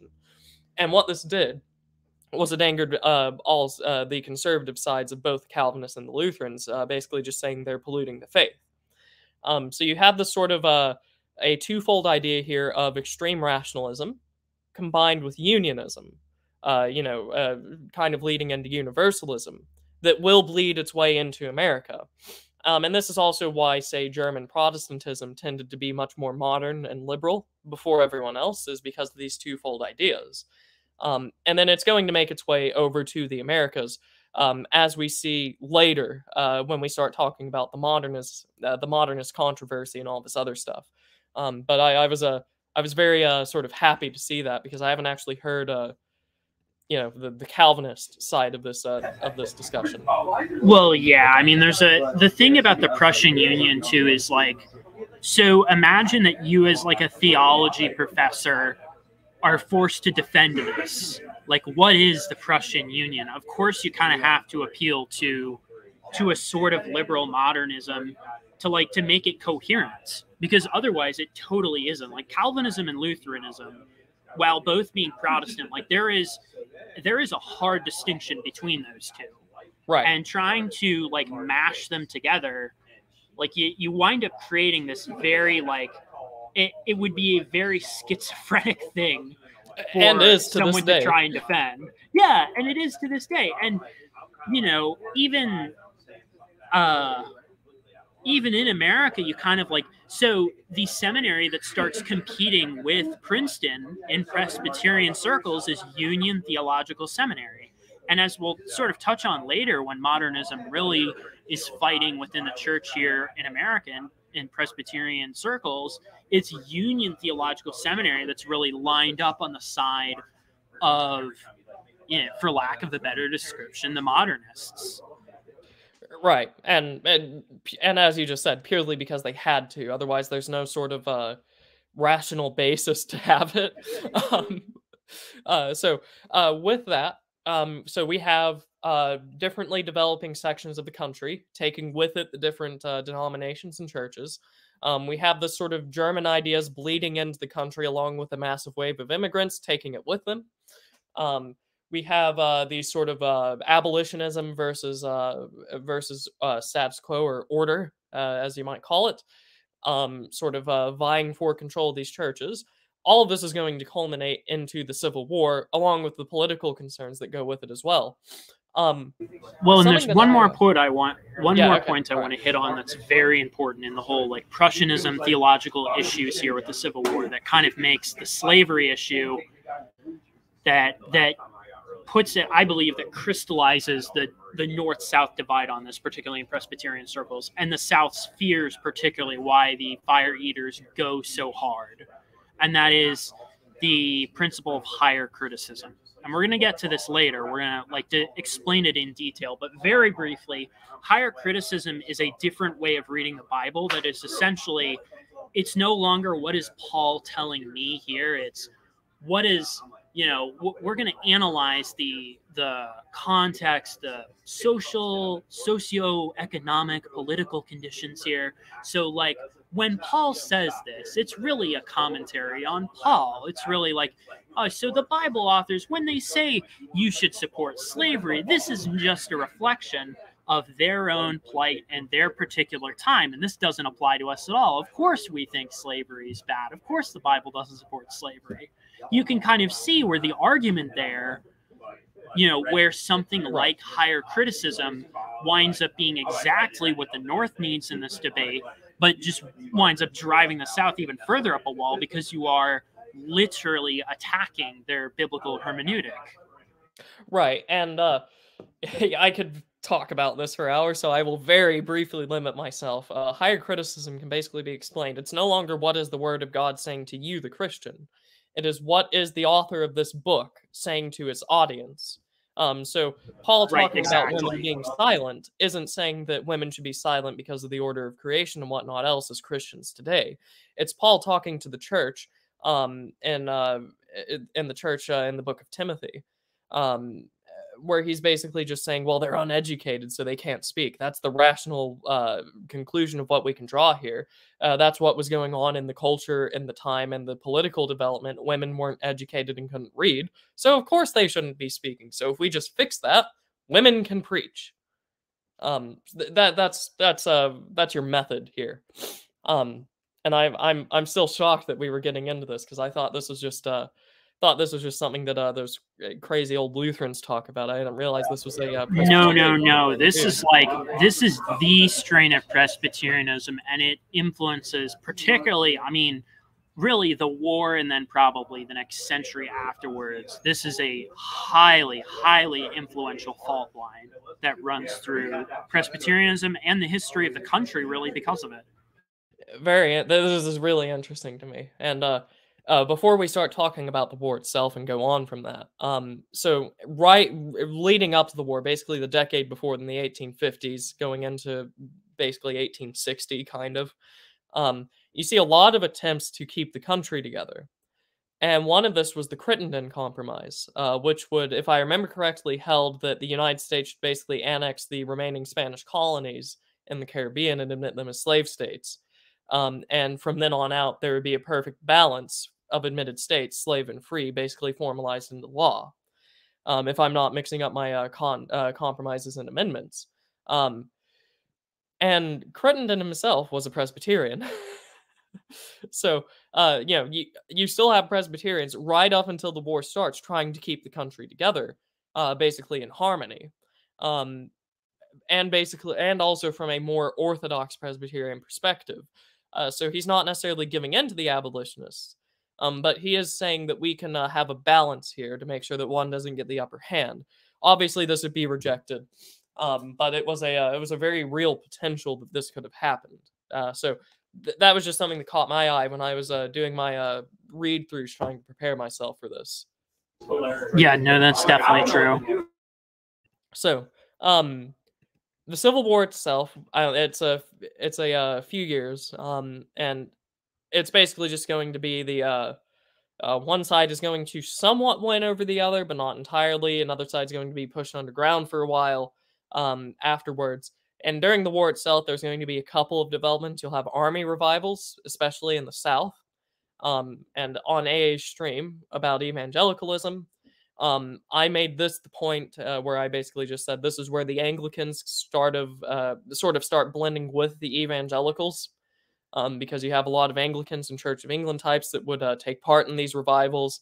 Um, usually, just because it's the only thing that you could get when you're when you were in the army uh, for church services, because you're not exactly at home on Sundays to go to church. Um, but uh, however, I am interested to hear what you have to say, Mr. Brooks um, about in the Civil War itself, uh, what happens to Presbyterianism. Well, I mean, it's just yet again another moment where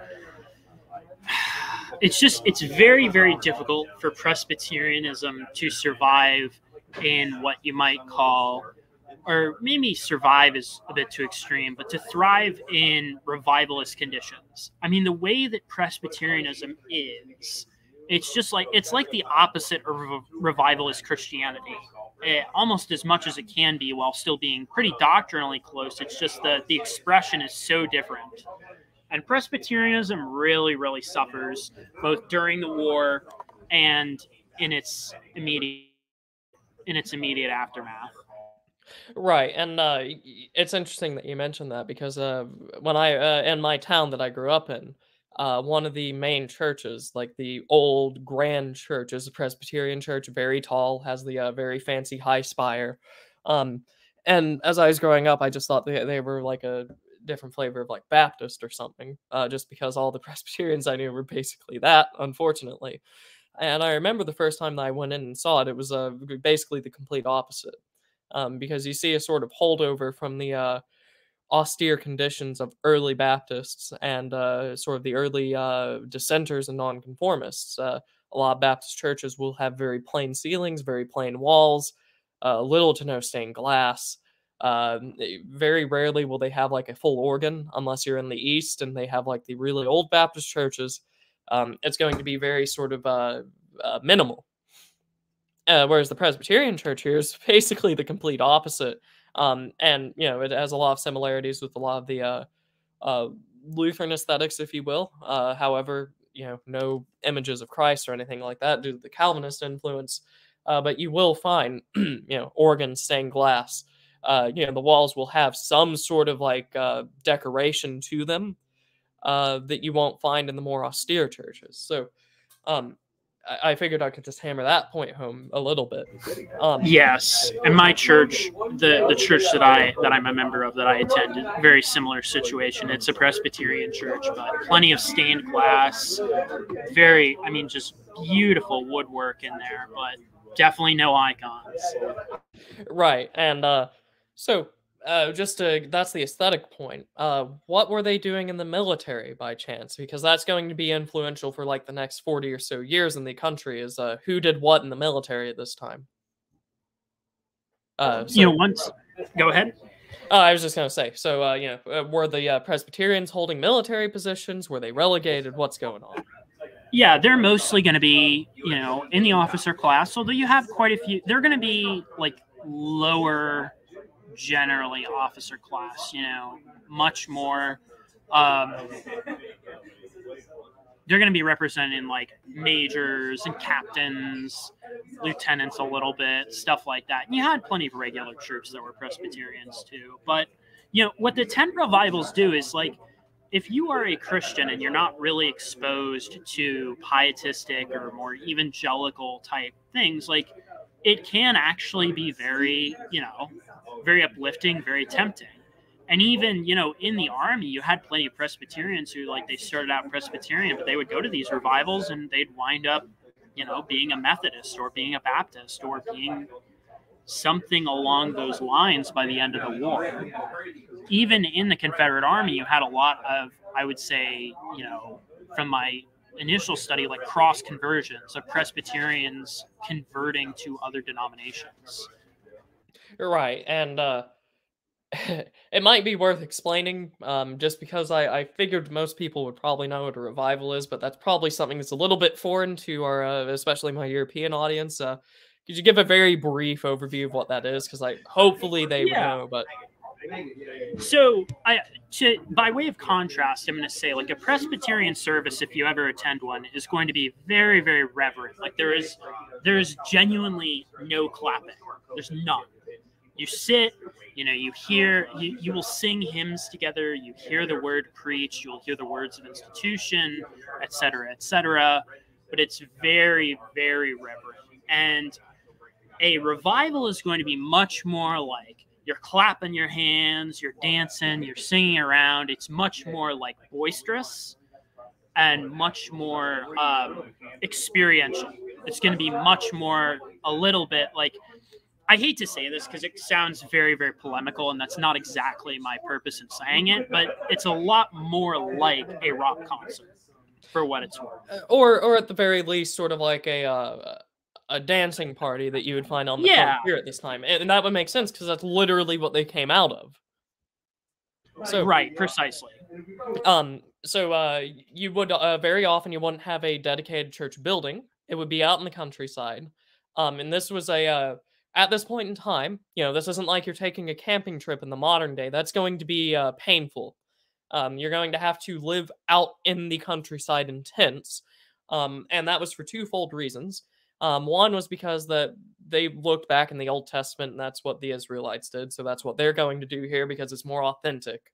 And then the other reason is because that gets you away from what was perceived at the time to be modern luxury and really sort of drive back uh, this sort of uh, Christian spirit that the population had lost at this point in time, uh, hence the revival.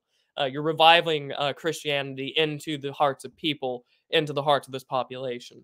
Um, so as a result, much less strict, much less organized. It's going to be much more uh, congregationalist, uh, to go back to what we talked about at the beginning.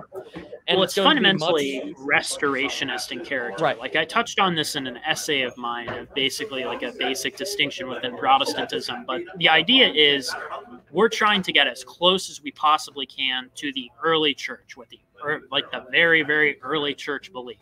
And of course, the early church isn't going to have pretty buildings, and the early church isn't going to have these these reverent liturgies. It's just going to, which I mean, whether that's true or not, you know, but it's like the perception of the early church. The perception of the early church is like going to be, you know, make a joyful noise, very singing, boisterous, out out in the wilderness, so to speak. And that's what they're going for. And so that's what these revivals, uh, you know, both the ones in the army and the previous ones, that's what they're about. Right. And uh, the other thing I was going to say as well is that's also going to put these individual congregations very much under the sway of whoever the revivalist is. Um, so you're going to get doctrinal differences by camp, basically. Um, and as communications improve as time goes on, uh, this will coalesce probably into a broader evangelical doctrine.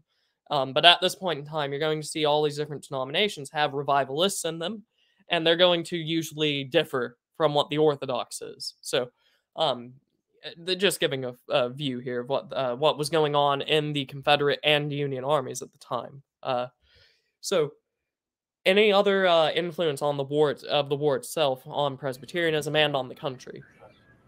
Well, I mean, I think that that more or less covers it as far as Presbyterianism specifically. I mean, I'd say the country as well. Like the war is just really, really hard on it's really really hard on american christianity the way in some ways that world war one was hard on european christianity. And that's that's a very good analogy i think for there. Um and one last thing um because and this is probably going to go against what you and i would both tend towards. Um the South did not have a monopoly on theological conservatism. Uh, I don't think I think that would be fair to say, right?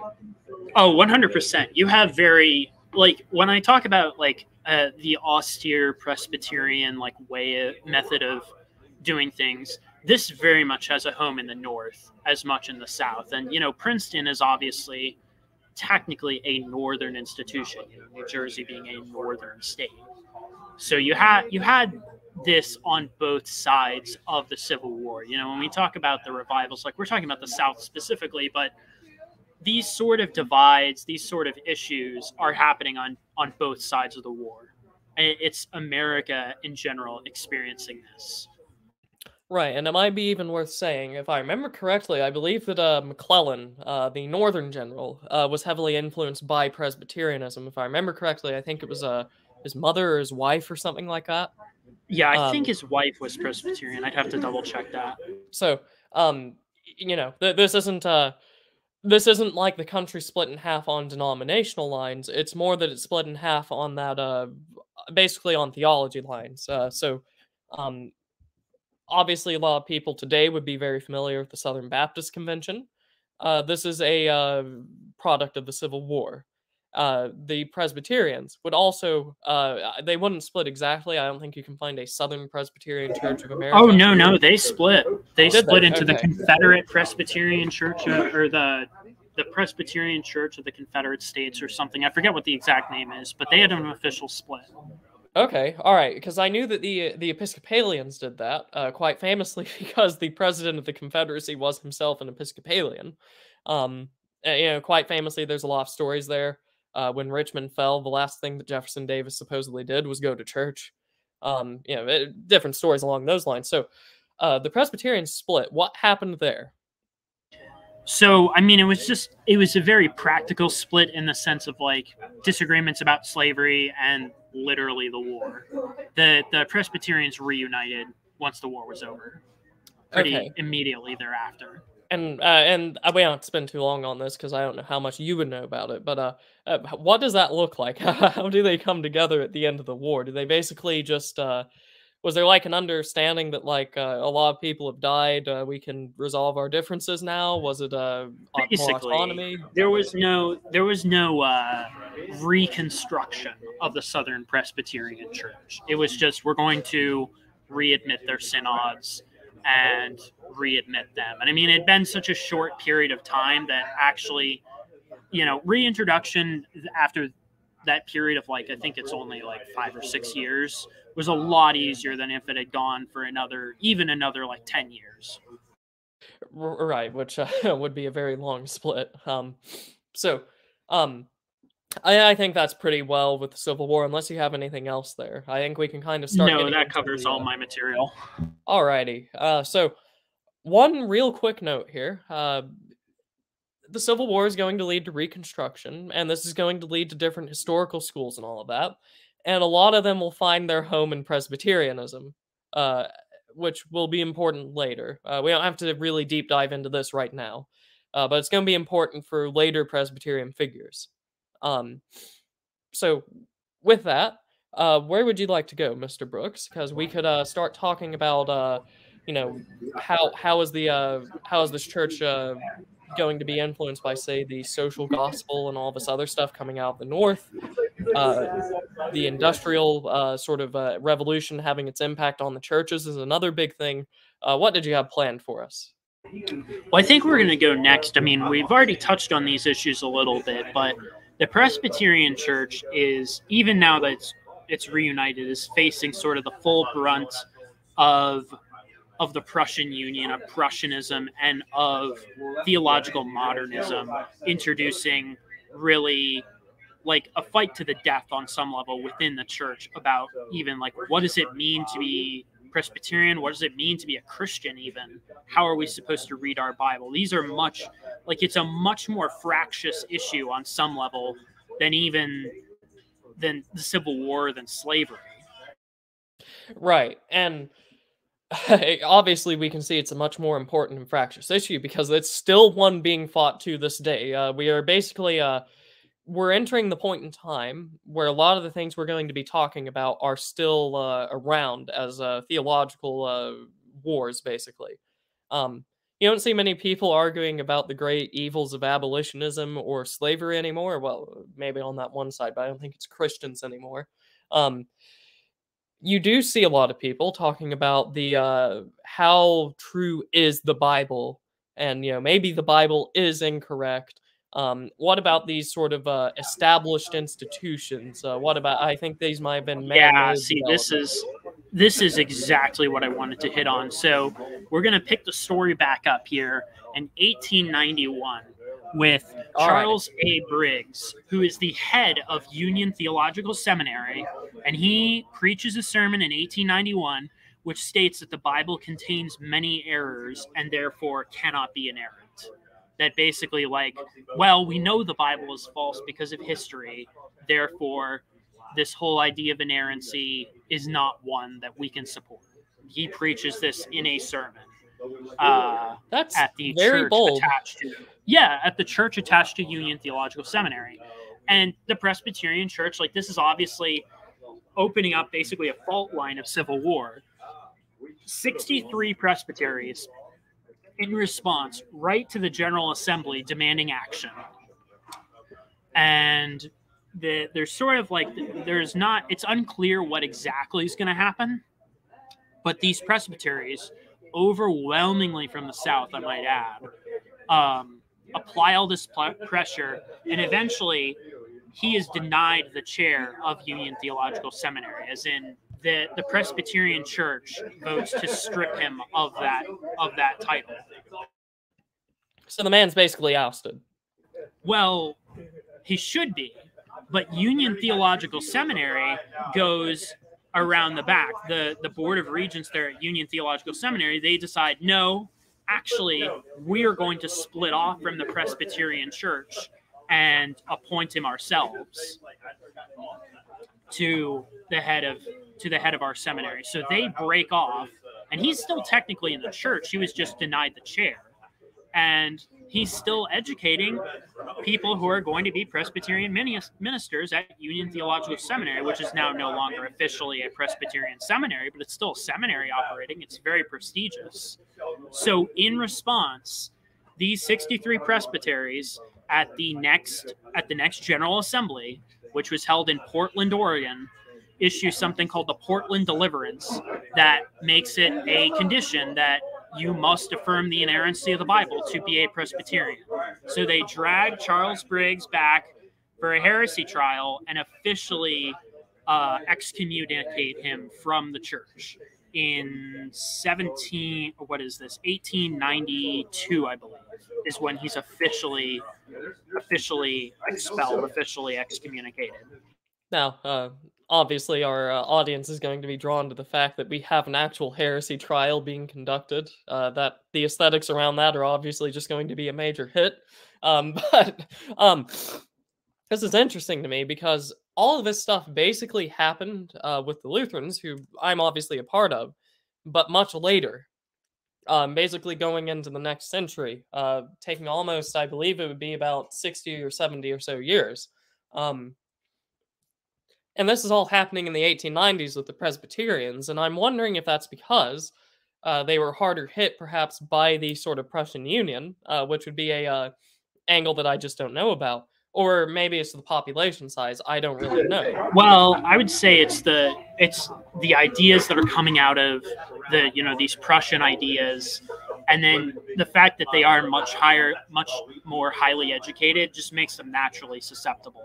Like they're doing all of this, and they're still losing the fundamentalist modernist fight, basically, even with expelling these people, even with all the drastic action they're taking, they are still fundamentally losing.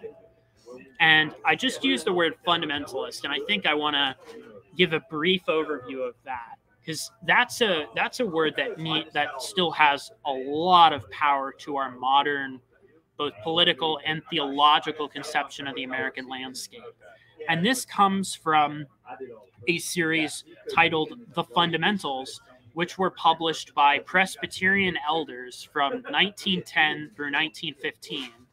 And they were actually funded by Lyman and Milton Stewart, who were both California oilmen and Presbyterians who just poured money into getting these tracts talking about modernism versus fundamentalism to every church that would take them. Like there's an unbelievable amount of these tracts printed. I, I forget what the number is. It's somewhere in the millions. Three million volumes were distributed in the United States over that five year period. Right. And uh, this is uh, something else I touched on with uh, on the evangelical stream with academic agent. This is really where you sort of uh, if you want to, this is sort of like the start of the modern era for uh, American Christianity, at least. Um, with the publishing and the fundamentals, you've now basically entrenched both sides. Um, you have one side who's a little bit older that will start saying, um, well, you know, maybe the maybe the Bible does have a bunch of errors. Maybe uh, women can preach. Maybe you know there is no such thing as a presence in this uh, in this uh, Lord's Supper. Maybe it's all just uh, a metaphor uh, for some sort of uh, thing happening at the time in Scripture. Maybe um, you know we can have all these different sorts of uh, sins that we've been uh, telling people to repent of not actually be considered sins. Maybe homosexuality was just a product of Roman Empire laws or something well, like see, right, exactly. It's a very, very like complicated, intelligent, elaborate way of saying, "Did God really say?" Yeah, right. Yeah. So, um, and for people, uh, and we know we, we have non Christians here in the audience. Did God really say? Is uh, how the first sin was uh, committed. So, um, yeah, yeah exactly. So you have these, you have the fundamentalists, and they the these fundamentalist tracks are targeting two enemies fundamentally: higher criticism and Darwinism. These are the two things that they are hammering against in all of their in all of their tracks. And there's another guy here. And Princeton, I will say, historically is known as the Orthodox Presbyterian denomination. Like they're the ones who are holding the line. They're the font of a lot of this resistance, aside from it just coming organically from these churches. And their chief advocate, a man named J. Gresham Machen, writes a book that is literally titled Christianity and Liberalism, where he makes the case that liberalism is a rival religion to Christianity. Right, and if you uh if you remember that quote that Mr. Brooks told us back in the uh, sort of fire eater section of the stream, um, sort of viewing liberalism and its uh, uh, sibling ideologies as a rival religion. Um, this isn't just some polemical thing that Mr. Machen uh, came up with uh, to sort of uh, go against the uh, the uh, historical criticists. Um, this is an idea that has been brewing basically since uh, these modes of thought had been labeled. So, fire eaters talked right. about this. Other denominations talked about this. other apologists from much earlier eras would rail against this. so this has been culminating for quite a while. Yeah, it's it's been brewing for some time. And like I, the thing that I appreciate about Machen too is he he lays it out very simply. I'm going to quote uh, again from the book, actually Christianity and Liberalism. He says, "quote Christ died. That is history. Christ died for our sins. That is doctrine. Without these two elements joined in an absolutely indissoluble union, there is no Christianity." Right, and if you remember back to what we were talking about earlier, a lot of those modernists were basically just saying, you know, there was no historical Christ. Um, this was all, eh, eh, you know, they, they will eventually go to that. Um, you'll have the most extreme that will say there is no Christ. Um, all these people basically just came up with it, but it's a good way of living, so we'll keep it anyways and try to expound what they really were trying to mean in their more esoteric doctrines. You'll get some that are in the middle that will say, all right, maybe Christ did die, but as we all know now, a resurrection is impossible. Death is final. So, you know, they die, they deny, you know, a second coming, they deny a resurrection, they deny a uh, sort of final judgment. And, but, but they, you know, they'll believe that there was a Christ and that he was a good teacher. And then you'll get the. But it's uh, not. It's it's a Christ that doesn't require things from them. I mean, what this right, fundamentally exactly. is about is forging a Christianity without Christ. Right. That exactly. is fundamental fight here. And I don't like, I, you know, again, the purpose of this is history, not polemics per se. But this is like within Presbyterianism itself, it's laying the foundation to totally undo Christianity. And so the Presbyterians that are fighting on this front, I mean, these are fights that are still happening today, whether we have a Christianity with Christ or without one. And I think we can see to a certain degree, I mean, I'm generally very skeptical of this thesis, but there is something to be said that our political enemies seek to have a sort of bastardized Christianity without Christ. Right, and uh, you don't even have to. Uh, you can make it seem much more believable if perhaps someone in our audience is uh, uh, concerned about sort of like the conspiratorial implications there. God forbid. Um, a lot of these people did just up and say we only want christianity for the social utility because it's what's keeping the society together. We don't actually believe in christ. A lot of these modernists did. Um, and i can't speak for the presbyterians obviously because i'm a, i don't know nearly as much about them as you do. Um, but there's a very famous lutheran minister uh, from this sort of criticist uh, tradition uh, by the name of dietrich bonhoeffer. And something that he would oftentimes say in his theological works um, is that you know there was no such thing as a resurrection. Scripture was uh, er- an error.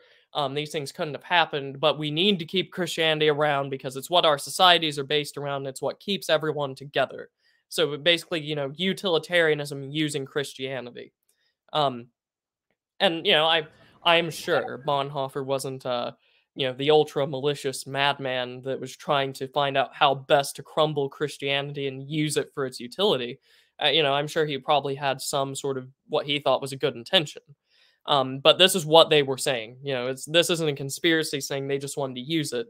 All of their writings would point to it hence calling them uh, hence uh, tying modernism in with utilitarianism Right, precisely. And bon- Bonhoeffer, that's an interesting one because he is he gets trotted out actually a lot in the last several decades. Uh, yep. Unfortunately, in the wake of the Second World War, and we're not going to dwell on that at all because my opinions on that that's a whole nother issue. But um, essentially, Hitler replaced Satan in a lot of Christian ethics in the wake of the Second World War And Bonhoeffer is viewed as basically like he has been baptized by a lot of modern American evangelicals as like the guy. This is the example that you follow. But he is exactly guilty of a lot of these ideas that have really undone Christianity. Right, and and it's no wonder. Uh, he was in the German church in the interwar, and the German church in the interwar was the hotbed of uh, of uh, this modernism, of this historical criticism. Um, now, this presents an issue for me as a Lutheran um, because this means that our high church tends to be much more liberal, uh, despite the fact that we had the high church much longer than we had the modernism. Um, but then you have the low church, which tries to get rid of all of the uh, sort of heritage around it, but they also have a more correct view of scripture. So uh, it puts me in a uh, in a very difficult uh, situation, and I'm sure it probably does with the Presbyterians too. But I'm sure it's a little bit different. Yeah, exactly. Well, I mean, it's actually it's actually quite similar because you know there's a lot about the more the more higher church Presbyterians, even among Presbyterians that I really respect, and there's a lot of ways in which I can see that the fundamentalists they made mistakes that that need to be corrected. But it is just at the end of the day, like one of these sides believes in Jesus Christ and the other one doesn't. And yeah. I mean, I don't, I, you can't escape that on some level. Right. And, and especially like when we're talking a... about like a Christian denomination, you just, you literally can't escape that.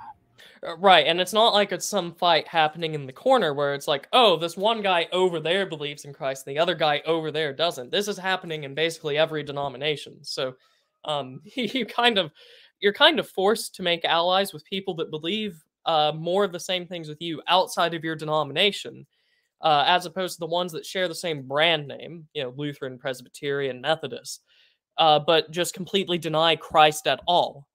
So, um, right, you, exactly. You get these interesting dynamics. Yeah, you get very, very strange allegiances. That that is for certain. Right. So, um, we should probably hop right back on track, though. Um, so uh, that's sort of like our modernist and uh, fundamentalist controversy that's still continuing to this day. But what's happening in Presbyterianism as this uh, is uh, fulminating? So I mentioned already that despite all these heresy trials and such, they are losing. And fundamentally, they lose. I mean, Machen writes Christianity and Liberalism in the 1920s. And in 19, or maybe later than that, it might be like 19, mid 1930s. But in 1936, he is defrocked from Princeton, uh, Princeton Theological Seminary because he is sponsoring this organization along with a lot of his friends that is essentially working for the training of truly Orthodox Presbyterian ministers, ministers who are hostile to modernism. And the church basically tells him, no, you're not allowed to do this. You have to resign. He refuses, and they kick him out. Like, not not he gets kicked out of Princeton, but he gets kicked out of the Presbyterian Church. And so he founds his own splinter group, which is which survives to this day, the Orthodox Presbyterian Church. Now that's interesting because the Orthodox Presbyterian Church. Uh, I remember I brought this up with you once upon a time, or it might have been Sam Batch or someone else, but um, on the outside, um, just because of how crazy things have gotten in the modern day, they look very, very conservative. Um, mm-hmm. But you, uh, you enlightened me that that isn't, you know, it's not necessarily so black and well, white. The difficulty with the the OPC as it exists now is that, first of all, they're a very, very small body. There's about thirty thousand members throughout the United States, um, and secondly, they've kind of swallowed enough of modern politics that they really, really twist themselves in knots over stuff like racism, despite the fact that like you're the OPC, like the people who joined are all like hyper fundamentalists and probably a lot of them like Southerners who uh who may or may not have read certain forbidden Dixie publications. But I mean, it's just like the leadership of the church is very, very. I mean, they be willing to do just about anything to show how not racist they are, and this leads them into a lot of trouble. Yeah, so they're they're basically big R Republicans at this point. Unfortunately, yeah. Yeah, okay. And you know, it is a little bit the thing that to say about them as well is that they really have a very I mean, in, in both a good way and a bad way, they have a very different character than you would say of like the Princeton Presbyterians in the sense that like they're all, you know, they're all still holding to that their ministers have to be educated, but like the feel is very, very different. Like the feel of Presbyterians, because of their demand of education, is like this is one of the hyper WASP denominations.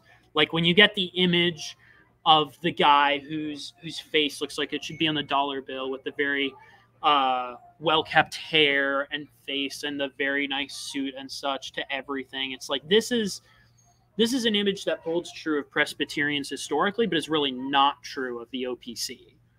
And you, you know, it's there are a lot of reasons that you could speculate as to why this is. I'm not saying this is a value judgment either, like a, whether it's a good or bad thing. But the thing about, and we'll touch on this with the PCA as well the Presbyterians in the modern day, the fundamentalist Presbyterians, wind up looking a lot more like fundamentalists than Presbyterians, if that makes sense. Yeah, yeah, and that makes sense as well because I see the same things with Lutherans basically. Um, there, yeah. there are certain kinds that will look more like fundamentalist evangelicals than they will Lutherans. Yeah, there's an old joke about the uh, the Presbyterian Church in America, the PCA, uh, which is the church that uh, I was raised in, and that is basically that every PCA church is 12 Presbyterians and all the rest of them are just Baptists. And the yeah. point is because the actual membership of the PCA, like they have a huge amount of Baptists. You know, they can't be in leadership because of the subscription to the Westminster Confession, but like if you go to the churches, you will get in many cases, you will get a feel that these are people, these are Baptists who baptize babies. Yeah. Yeah, yeah, and that's the that's the rhetoric that usually gets pushed. So, um, before we move too far into the 1900s, um, I mentioned something earlier that the uh, the Presbyterians in Princeton uh, doing a lot of uh, historical development, especially on American history, uh, being as it's basically their uh, their governmental project at this point. Um, they would end up being very uh, influential, uh, should we say? Um, if you've seen the Lost Cause stream that I did with uh, Mr. Uh, Christopher Sandbach yeah. and Russell Berry, as he's talked about on Twitter now, um, a certain president of Princeton would go on to become the president of the U.S. Um, and he did a lot of work in sort of a historiography of the Civil War. And basically, their method uh, would be going through, if I remember correctly, going through the Civil War, basically account by account, article by article, journal by journal, and trying to figure out exactly what happened during Reconstruction and the end of the Civil War. Um, You're speaking now of Woodrow Wilson and yes. the Dunning School, which yep. are very, very key to American history, to the study of American history. You know, Woodrow Wilson, uh, President of the United States, uh, his father was one of these fire eaters. His father was a Presbyterian minister who was one of these like one of these people for lack of better description fomenting civil war but would say all those things about you know what the nor- what northern victory would mean. Right. And wilson writes a history of the united states like a whole several volume series which is actually quite good. I have not read it in full but i've read a lot of it. And Wilson himself, he's a very interesting person. You know, he comes from much more what you might consider the the higher or more modernist side of the Presbyterian church, but he's a man who deeply cares about his Bible and is he has a highly devotional life. And you know, when the more that you study him, the more that I kind of like I don't know what to make of the guy because I feel like reading him I get a very strong sense of a genuine faith in Jesus Christ, not in not in like a vague notion of Christianity, not in a social gospel, though obviously he's a big supporter of a lot of those ideas. Did we lose Turnip here?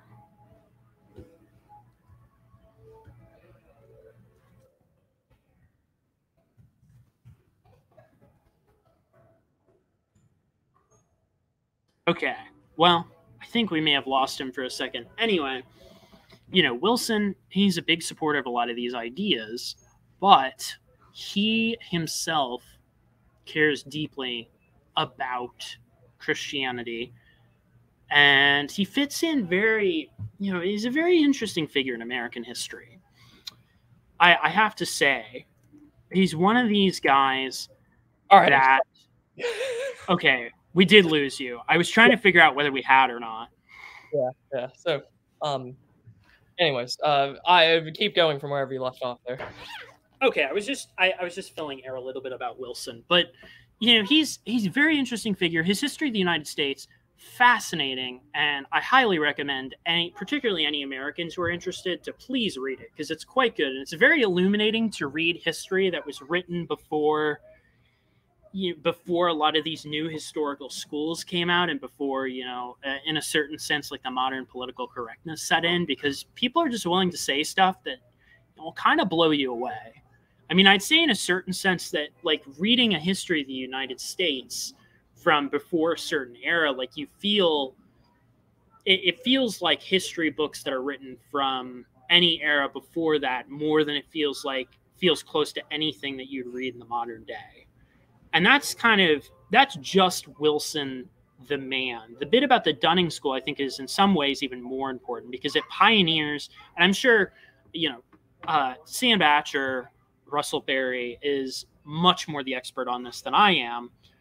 But I'm sure he said at some point that basically it pioneered the idea of putting primary sources as the gold standard of history, which, when you look back on, is kind of a very obvious thing to do but was just not the way that history was conducted. Right. And so all these rich records of the Civil War and Reconstruction that we had, these Dunning School historians really dug into the meat of it and were very, very good about documenting what they were saying in great detail.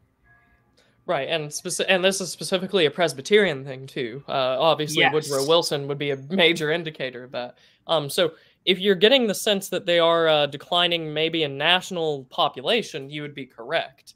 Uh, but their influence and their importance by no means has declined as this time has gone on. Um, no, yeah. they still hold a very, very powerful. I mean, and that even like that survives World War II on some level because you know both uh, both Dwight Eisenhower and yep. Ronald Reagan convert right. to Presbyterianism either shortly before their presidency or during their presidency. Right, and um, and even in the modern day, this still continues on as well. And we'll get to that though. Um, but um, all if you ever do research on the Reconstruction era of the United States, um, all of those primary sources that you can find are basically preserved because the Dunning School uh, decided they were very useful um, so, uh, you know that that that's a major everlasting importance there in the uh, field of history. But um, I, I do believe that that was all I wanted to really cover there in the middle. Uh, obviously, Wilson's administration was uh, had a lot of Presbyterian influence. Um, a lot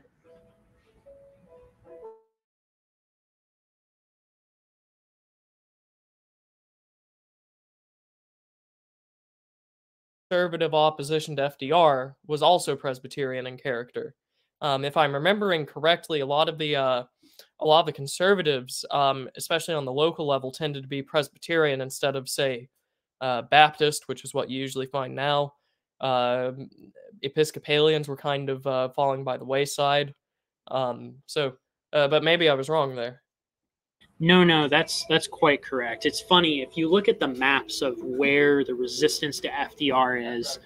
I mean, it's all like basically the WASPs. It's these last like mugwump WASP holdouts. It's like New England is the one place that's trying that that's resisting on some level, and the Presbyterians the same way. You know, on all the local level and all this stuff. California is interesting.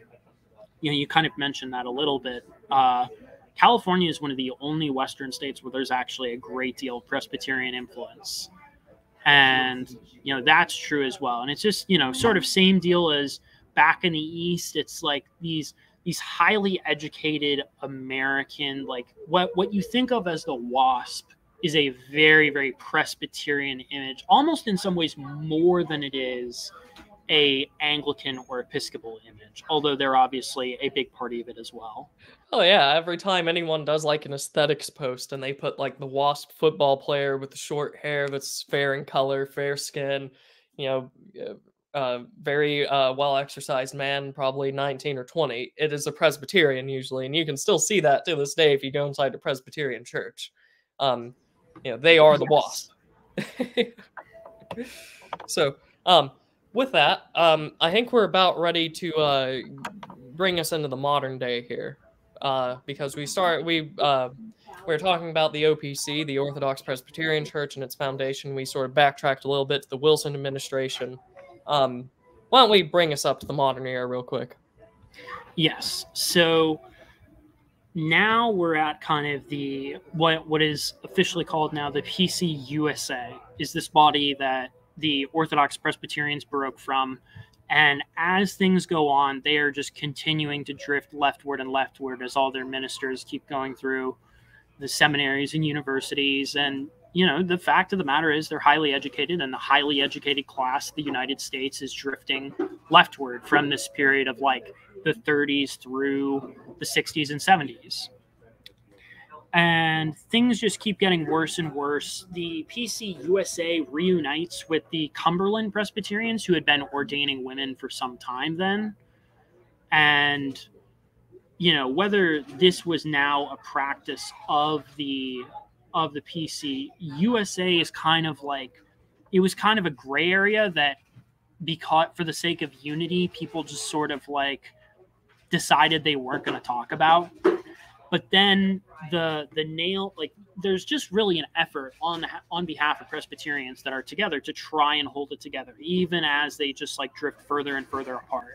But the thing that breaks the camel's back is the civil rights movement. The civil rights movement comes around, and the southern churches, which obviously are the ones who have held orthodoxy in large part for so long, they obviously they see what's coming and they're not really willing to tolerate it. And ironically, like the civil rights movement itself, right, in the 60s, that's not actually when the split happens, but that's when the Presbyterian church, all the educated class is like, all right, now we're going to start ordaining women. Now we're really going to start pushing social gospel and all of these sort of more liberal ideas.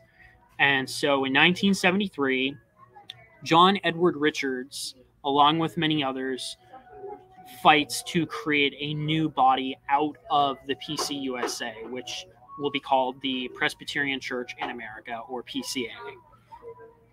And Edward or Richards, rather, he writes a book on like the reasons for the split that I'm going to quote here briefly, because I think it it's very actually illustrative of even in the 1970s how how much they were still holding on to these ideas that have been fought over for now over a century. He says one of the reasons they're splitting is, in his words, uh, the influence of, quote, the socialists who declare all men are equal. Therefore, there must be a great leveling of all humanity and a oneness from privilege and permission, as well as, quote, the racial amalgamist who preaches that all races should be merged into one race and differences erased into oneness. I mean, that sounds like uh, that sounds like something that you'd hear, uh, you know, Stephen Carson and I talking about was, uh, you know, lamenting that happening in the churches. This seems to be a uh, uh, a pattern noticed by many different people all over the place. Was that you know they will subvert a church and try to just completely level everything and all differences. Um, yeah. And what's tragic about it too is like in this case, you know, Richards and the founders of the PCA, which if you look at the PC USA now, I mean, it's just like whether it could even be called a church is debatable. But in 2016, in the wake of Trump, the PCA issued a bunch of like actual declarations basically lamenting all the founders of their denomination as racist. Well, that's a that's a depressing note. It was one of the moments of realizing like, well, this may not be where uh this may not be where I can stay long term. Yeah, yeah, that's kind of how I've been with the uh, Lutheran Church Missouri Synod because they've they basically continually do the same things but through different back channel measures, and I've had the realization, you know, my children could probably not be there, you know, when, when Yeah. they're growing up, but who knows? we shall see. Yeah, so I do believe that that's kind of where the uh, story's left off at. Uh, you know, there's no resolution. This stuff is still happening. Yeah, it's still it's still fundamentally a fight, and I mean, you know, Donald Trump, when he became president, I guess like decided that he was now like an evangelical or one of these like I guess non-denominational pietists, but his family is a Presbyterian family.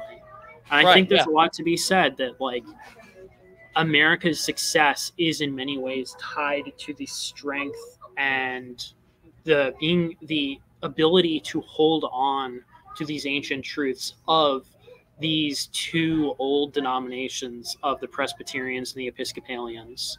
And you know, truth be told, we need we need a return of that. We need those people to once again be who they are. Right, and if there are people that are not Presbyterians like me looking in on this, uh, some some might wonder, you know, what does it matter if the Presbyterians are conservative or modernist? And it's really just a question of who would you rather have in your community? Would you rather have the conservative or the uh, the true Presbyterian, or would you rather have the modernist Presbyterian waving the rainbow flag and the BLM flag? Um, you know, which one of these do you want? And then suddenly it becomes a a little bit more obvious uh, why you might want to take a side or you know Well, and it's particularly complicated because it's like those people are going to be on your city council either way. So it's like, what sort of decisions are they going to be making on the city council? That's the question. right and it- and that's not even necessarily only presbyterians there are other uh, we could have done probably something similar on uh, anglicanism in america because uh, their influence only recently dropped off in like the 60s um, and Yeah. they still have quite a lot of old positions in different cities and stuff like that um, and they also have a very similar thing going on with them do you want the conservative ones or do you want the modernist ones same thing with the Roman Catholics. They don't split necessarily, but there are very much liberal and conservative Catholics. Um, and I don't think anyone here has the uh, opportunity to perfectly bring about what they want. So it's also a question: which ones do you want? Uh, uh, which is which is partly why I'm interested in this, but maybe you would have a different uh, concern here, especially being the especially the Presbyterians are your home denomination. Yeah, I mean, I think I think for Presbyterians particularly, there's like a. I, I think an honest assessment would just say like America and Presbyterianism, they're so tied in together that like the success of one is tied to the success of the other. The failure of one is tied to the failure of the other. And in this sense, like figuring out a solution is pretty pretty important to me. I don't, you know, I'm not I'm not that guy. I am, you know, very interested in the study of history and trying to figure out like how things work and which direction we can go. But you know, in the end, this is sort of a this is sort of a thing where I have to appeal to Providence and hope for both my nation and for my, you know, my specific denomination. Alrighty, and uh, you have a uh, very, very hard-hitting quote at the end of these notes here. If you wanted to cap off I'll, that, and then uh, we'll hit the chat and the super chats and all that, and wrap up. That's all right. I'll leave us with a, uh, a nice palate cleanser. And this quote is from Sir John Skelton.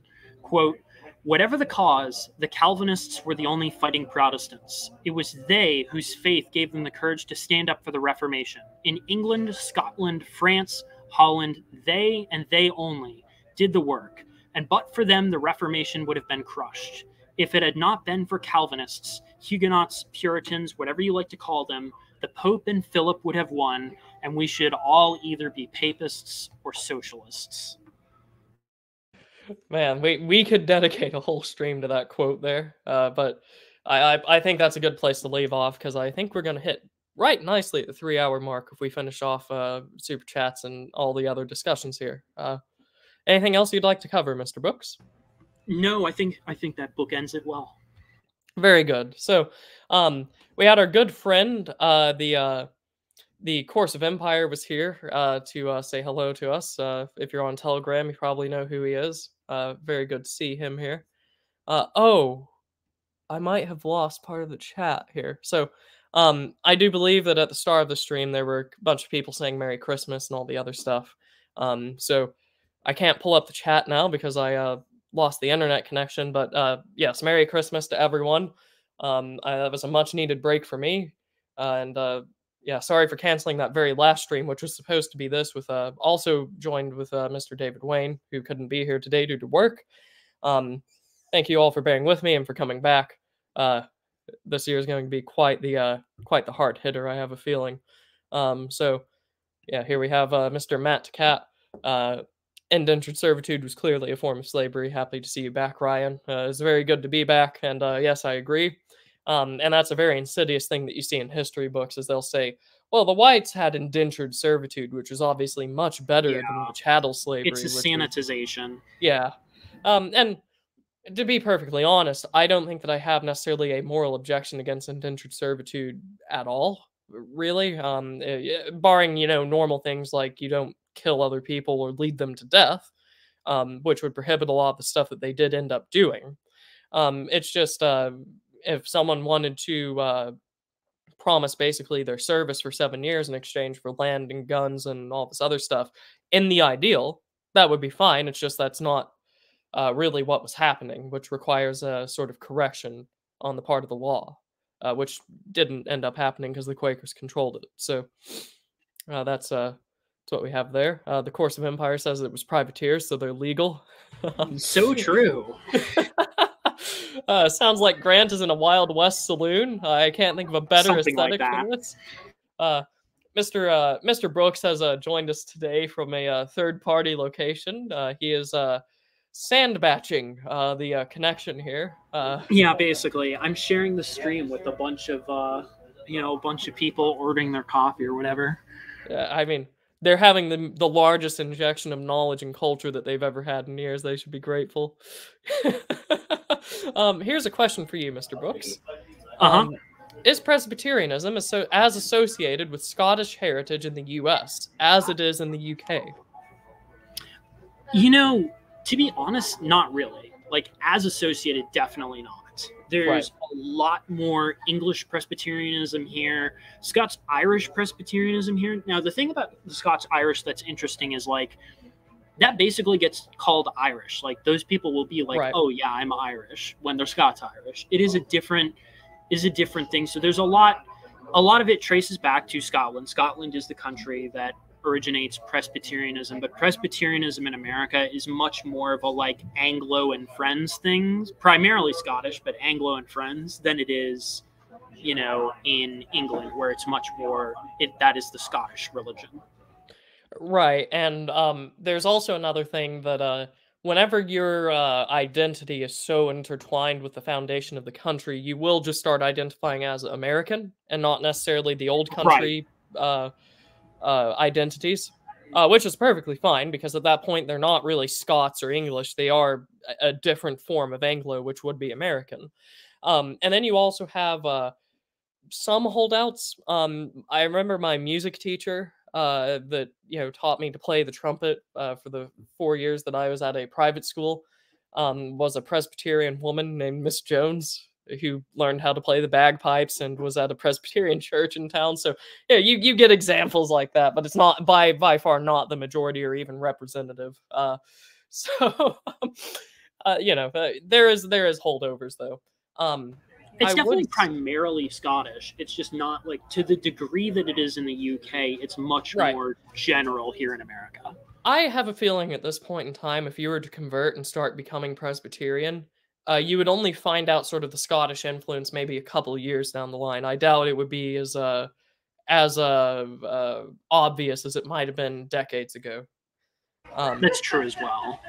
so, um, and then also, you know, Ulster Scots. Um, there's this interesting thing that happens with American genealogy, um, where they'll see sort of like, oh, name that is in English that comes from Northern Ireland or Southern Scotland. It must either be Scottish or Irish. And my great grandmother did this um, because they have the surname of uh, Robinson, and then Bunt uh, would be the other one. Uh, so her maiden name and her uh, eventual surname. Um, and they, it was uh, they uh, both just said, well, you know, we come from what would have been Presbyterians and Calvinistic Baptists, so and we have these names, so it must be Northern Ireland and Southern Scotland, Scots, Irish, and Scots.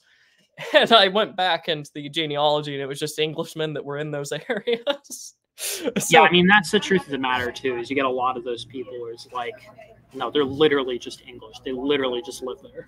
Right. Yeah, and that would probably be plantation settlers and whatnot else. Um, but you know, th- there's that that happens as well. You'll get a lot of generalizations in genealogy by uh, inferences and intuition, yeah, which you know, nothing against that. It's just it might not be the most accurate. Um, so let me see. Um, it's a lot of good conversation here. I don't know that there was much directed at us here. Um, oh, we have a super chat here from Prince of Parma um, for uh, 35 South African Rand. Uh, let's get this in on time for a change. Merry Christmas and a Happy New Year. Merry Christmas and a Happy New Year to you, Mr. Parma. Uh, you Merry uh, Christmas as well. Yeah.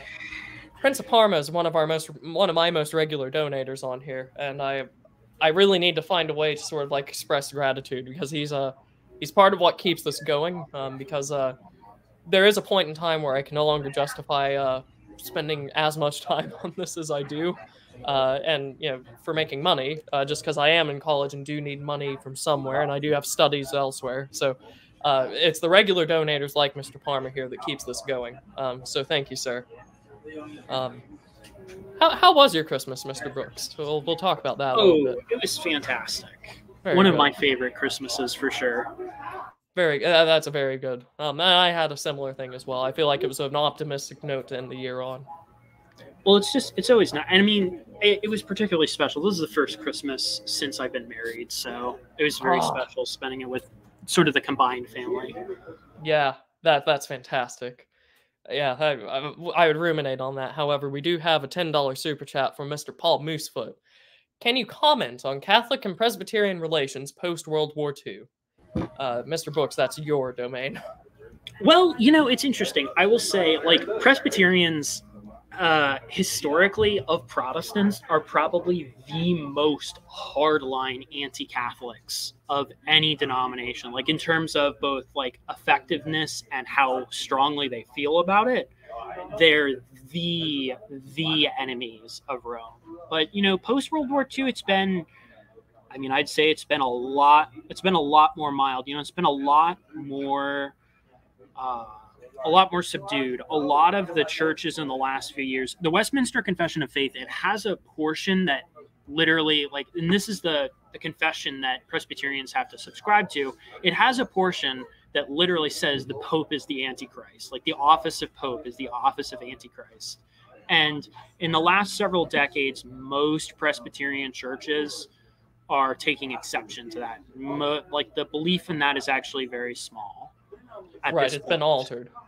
Yeah, I, like within my church, the way that they do it is like they require subscription for all of their officers. They require subscription to the confession, but they allow you to take exceptions if you state the exceptions and the body decides to receive you. And I'm pretty sure all the elders, but like one of them, take exception to the to the bit about the Pope being the Antichrist. Right, and uh, we have several Roman Catholics in our circles, and most of them are very nice. Uh, if you get to talking to them, uh, you know, I, I, definitely think that we have the higher end of Catholic population in our groups uh, for the ones that are Catholic. Um, but the thing They're that definitely doesn't a little bit overrepresented, but they yeah, are they are yeah. generally pretty nice. Uh, the thing that doesn't do them any favors, however, is the fact that those liberal modernists that we were talking about earlier really like Rome, and they really like being ecumenical with Rome. Um, so the uh, ELCA, the Evangelical Lutheran Church in America, the liberal one, and if I remember correctly, I think PCUSA, the Presbyterian Church of the USA, um, has talks open with Rome that they participate in. Yep, uh, that's correct. So, um, and that's as we mentioned earlier, the modernist impulse with Christianity is to use it for utility, um, which you know, basically just means that Rome is a very prestigious institution. It has a lot of social capital. Uh, so we need to have talks with it. Uh, and there's also probably the personal aspects. We're the ones doing the uh, adult discussions with Rome. Look at how civilized and uh, and uh, uh, how moderated we are. Look at how yeah, respectable exactly. we are. so, and that kind of is now after a few decades bleeding into the more conservative churches, unfortunately, um, because it's not like a the thing that we're opposing here, you have to keep in mind, regardless of what Grant and I think, what is actually happening right now is not, you know, actually trying to resolve differences of churches or trying to hammer out doctrine.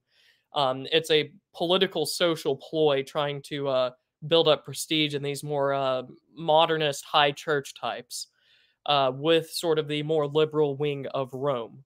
Um, basically, the conservatives of all sides are losing, and we're not even getting anything productive out of it. So, um, that's uh, Mr. Brooks. I don't know if you've had yeah, pretty much. I I mean, I I would second all of that. I would say like most of these talks, like the Church of Sweden is very deep in talks with Rome, and like the Church of Sweden, it's like, dude, like, you know, I don't know what they're discussing, but uh.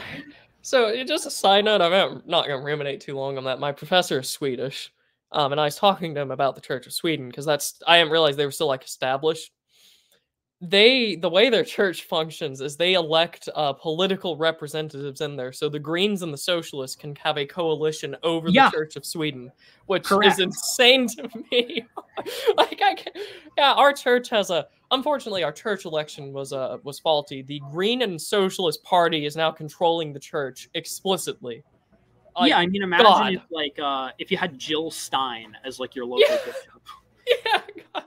Uh, anyways, I, I just I'm still flabbergasted by that. Um, we have the course of uh, the course of empire here, adding a little bit of context. The Royal Proclamation of 1763, uh, that was the forbidding of settling outside the Appalachians. Um, say that the Indians got the land, uh, which the local colonists weren't happy about, uh, as I'm sure no, many people. Not yeah, basically it was the uh, government saying uh, that land you just settled rightfully and we approved. Uh, no, uh, that's the Indians now. Uh, yeah, on second thought. so um, we have a. Uh, I'm presuming Mr. Carlson, our friend at DC Perspective here, isn't a Calvinist by this comment. weirdest thing about Calvinists to me is the anti-depicting Jesus belief.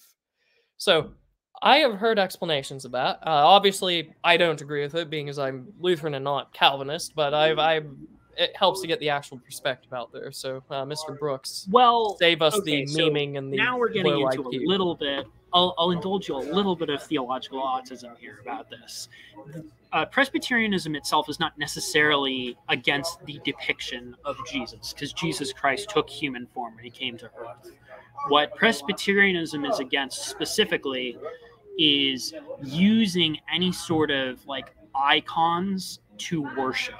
So, using a likeness of Christ and worshiping. I like the, the explanation that people will give is like, oh, I'm worshiping Christ through this. And that's what Presbyterians are very much against. So, like in my church, in like the, they call it the narthex, but basically, like if you want to say like the lobby, there are several the paintings. entrance of the church. Yeah. Yeah. There's several paintings of of Christ and of various things that happened in his early ministry, but there are just there are none in uh, there are none in the sanctuary. And so the the Presbyterian belief on this generally is, you know, depictions of Christ are fine, but worshiping Christ through those depictions, that's a problem. And depicting any other part of the Trinity is a problem because they did not take human form. When you're depicting Christ, you're depicting him as he came in his human form. If you tried to depict him like depict his heavenly form, then you're getting into more dangerous territory. And there are Presbyterians who are just against all images whatsoever, but that's a much, much smaller niche of people. Right. So um, I'm going to let that there. Um, I'm not going to comment one way or the other because we're almost out of time. Uh, but if you're going to have a discussion about this later, uh, take that in and don't resort to the memes or the low IQ discussions or gotchas and all this other stuff. Um, you know, don't uh, don't waste people's time. Uh, so that's the uh, that's the full view out there, which I simplified earlier. Uh, we have a question from Mr. Moosefoot. Is Grant at the pub? I'm at the saloon. Yeah, so we have that right there. Uh, we have our good friend DC, DC perspective uh, once again. Except New Jersey was barely a northern state, Grant. Uh, so, uh, that's fair. I mean, I, I can I can see where the arguments lie, but you know, north of the Mason Dixon fought for the Union. Uh, I'm going to leave that there. Right, and there's something uh, interesting uh, culturally. Uh, up until very, very recently, you know, states like Maryland and Delaware were considered Southern in their character. Uh, I remember yeah. I had the. Uh, and you can say that of New Jersey a little bit. Like the middle colonies are definitely like, because because the idea of the Civil War is like Yankee versus Southern. So it's like this idea of like the Cavalier versus the Puritan, which is not like. So if you're in the middle colonies, it's kind of like, well, which side are you on in that? It's kind of up in the air. You're kind of not really even. So I can understand the people from the middle colonies who identify with the South more than the North on some level. Right, and you can see that with their uh, development, their societal development, because they also had plantation systems and landowners like the deeper South. Uh, but their cash crop tended them towards, uh, uh, well, it was tobacco, obviously, was the main cash crop for a lot of the middle colonies. Um, and that is going to have a very different uh, form of uh, political uh, economy tied with it. Uh, because with the more cottony cash crop towards the south, um, obviously the more cost effective short term measure is going to be importing slave labor. Uh, with tobacco, it's not nearly as uh, difficult from what I understand, but I'm not a tobacco farmer, so I could be incorrect here. And there's also a more high class culture behind tobacco. Um, so you're going to have a different kind of human capital involved in uh, producing it and uh, developing it. Um, so you know the cotton from the south would be taken textiles up north eventually, and then also to the rest of the Americas, uh, to Europe, um, and it'd be developed elsewhere. The tobacco that we had in the middle colonies would be developed at home and then then shipped out elsewhere. So there would be more integration with the other sections of America, and you know that that that's the reason basically. Uh, the other would thing I'll forward. say is like you know there weren't really like towns in the same way that there are certainly not in New England but even you know in the middle colonies and then in Maryland's defense I think they tried to vote to suc- secede but uh, Lincoln arrested the entire state legislature and held them Yeah. without trial so not exactly their fault Yeah, so uh, that that's basically the reason there. Um, and, and I just find that interesting because when I was growing up, especially when I was studying American history, is like the main thing I was doing for a couple of years. Um, I it, it was very much the impression with me that like, well, everywhere south of like Southern Virginia is Southern, and everything north is Northern. And then you look at it more and more, and it's like, well, no, culturally it extends much farther northward. I mean, the uh, the Mason Dixon line itself is uh farther north than most people would be willing to say is Southern at this point. So uh, just an interesting bit there. Uh, we have uh, $25 from our friend here. Once uh, that is a very, very generous donation, sir. Um, and he is saying we will he will have to rewatch this. He joined late. Very interesting content, refreshing. Thank you. Uh, that is very high praise, sir. Thank you very much. And uh, you know, hopefully, yeah thank you much I'm glad to Oh. hear people enjoyed it Yeah, yeah, and uh, that that is in no small part thanks to Mr. Brooks here, who did the heavy lifting uh, with the uh, with the uh, direction and the content of the stream here. So a big thanks to him, and hopefully, what I can accomplish this year is having some very uh, refreshing and optimistic, but not detached content. So you know, stuff is, that is still relevant, that is uh, very real still, uh, but that isn't escapism. So um, that's what we're trying to do here. You know, Presbyterianism, the Presbyterian Church in America, very real, and a lot of Americans would have experience with it. So that's what we have here. And then right here, uh, we have him once again saying he was psyoped into liking Bonhoeffer for some time before he discovered his actual theological beliefs, and I think that's what many most such people. cases Yeah, most many, people have many that. such cases Thank you, Uh, Eric, Eric Metaxas, for absolutely nothing. yeah. So, uh, we have uh, Mr. Paul Moosefoot. Uh, thanks for the show, folks. You're very much welcome. It was a pleasure. Um, and we have a, a couple last questions and a uh, super chat, and then we'll uh, think we'll cap it off here. Uh, who is that quote at the end attributed to, Mr. Brooks? Sir John Skelton. Very good. Uh, we have Craig of the Mountains. Thanks for the show. You are very welcome. We have our good friend, uh, Lutheran Templar, Luthemplar, uh, Cringewalker, as some of us may know him. Five dollars. Thank you very much, sir. Been reading about Iona Abbey. The Bibles they printed undid the Arian conquest of Europe and restored the faith.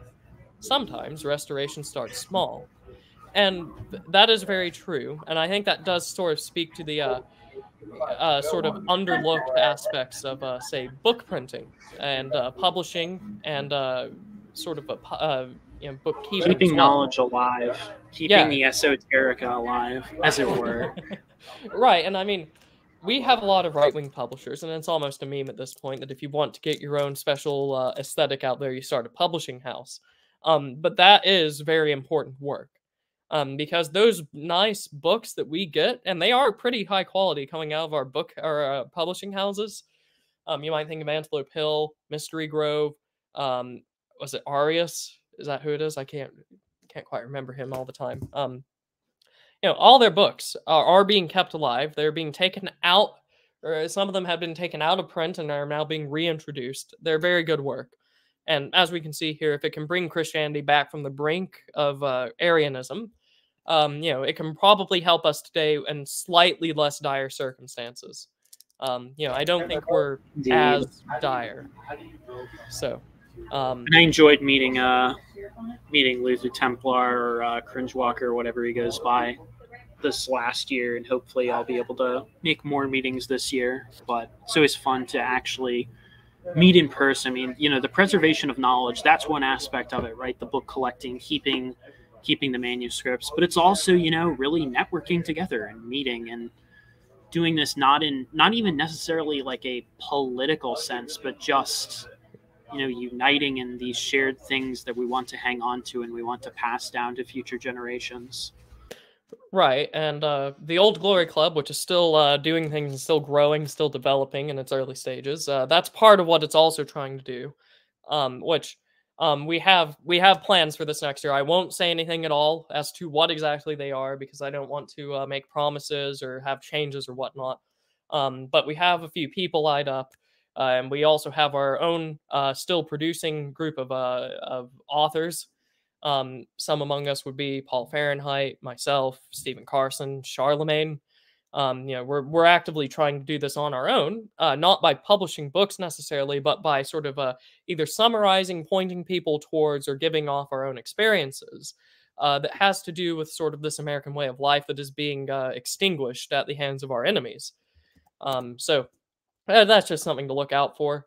Um, I should have an article coming up on Monday, I believe, uh, which is continuing the uh, American musical tradition that started with the psalm chanting that uh, Mr. Brooks tried to introduce to our audience on the uh, Scottish Reformation stream. That had a very important part um, in the American colonies, uh, especially with standardizing a uh, worship service.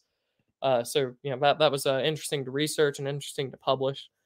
just something to look forward to. There is optimism to be had with our group uh, not just the Old Glory Club, but the broader sphere. Um, and with that, I do believe that we're ready to wrap up. Oh, wait, $5 in from Cringe Walker here. Um, you should check out the book, or you should check out the Book of Kells sometimes. Uh, it was by far the greatest cultural production of the Dark Ages, penned by Druid converts. I find that very interesting. Uh, just because I read that much. ages and ages ago yeah, and so in my defense, uh, most of the people that I have on here are older than me. So I usually I'm usually end up saying things like I need to read this, and they will usually say, "Oh, I read that a long time ago." I didn't know that we had uh, druids, people that were druids in their own lifetime that had written, you know, literature. Mm-hmm. So uh, well, I I feel for you. That book list has got to be brutal and even just keeping up with like the book recommendations I receive by myself, it's like, geez, man. Yeah, I'm sort of at the uh towards the end of last year because I'm also taking, you know, like 18, 19 hour semesters. Um I can only do so much and I started just saying, you know, maybe I don't have to work myself as hard and uh sort of just relax the book reading, but uh after having like a couple weeks off, uh, I feel kind of re-energized and ready to go again for another couple of months. So uh, there we go. I uh, that that sounds really interesting. The Book of Kells, Druid converts to Christianity. That's uh that's very interesting to me. That might dedicate that might have its own stream dedicated to it. So uh Mr. Brooks, I do believe I have your uh, your links in the description, but verbally, just in case, where can people find you and your work, and what are you doing? Well, people can find me on uh, Twitter, having somewhat intelligent comments, and on my Substack, where hopefully it's more intelligent than my Twitter, but probably a little bit less fun. I've also written for the American Sun, and I have an upcoming upcoming article in the Sunflower Society magazine, which is a magazine put together by a good friend of mine that's issuing their second issue in the next I want to say the next month or so, maybe a little bit more. But he does quarterly releases, so I would recommend everyone uh, check that out. Particularly, I'll have an article in the the upcoming winter issue, and yeah, Substack and Twitter is mostly where you can find me. Thank you so much. Oh yeah, you're very welcome. And that uh, our good friends at the Sunflower Society are people to check out. If I remember correctly, I think they're very new. Um, so there's a breath of fresh air and optimism there. Indeed, um, if you want if you want optimistic analysis that's not just like everything's uh if you want a lot of we're so back instead of it's so over, Sunflower Society is the place to go. Right. And also in the last uh, issue that I did read because um, I do believe they put it up on a, as a PDF. Um, you know, it's not pie in the sky optimism either. It's very real optimism. So, um, yeah, we we have that breath of fresh air coming out of our, especially our newer um, contributors to this uh, to this wider sphere. So, thank you very much, Mr. Brooks. This has been very enjoyable, and uh, you hard carried the stream, I have to say. well, it's my pleasure. Thank you so much for having me, Ryan. Yes, you're very welcome, and uh, hopefully there will be greater collaboration between UI and everyone else in the future. Because I, uh, I feel like the uh, two uh, two excursions you've had on here uh, have more than proved your uh, academic and intellectual capacity. So hopefully that well, leads amen to, to that. Future. I look forward to coming back. yes. All righty. Have a good uh, rest of your day, everyone. Where I am, it's your afternoon. So have a good rest of the afternoon. And goodbye, everyone.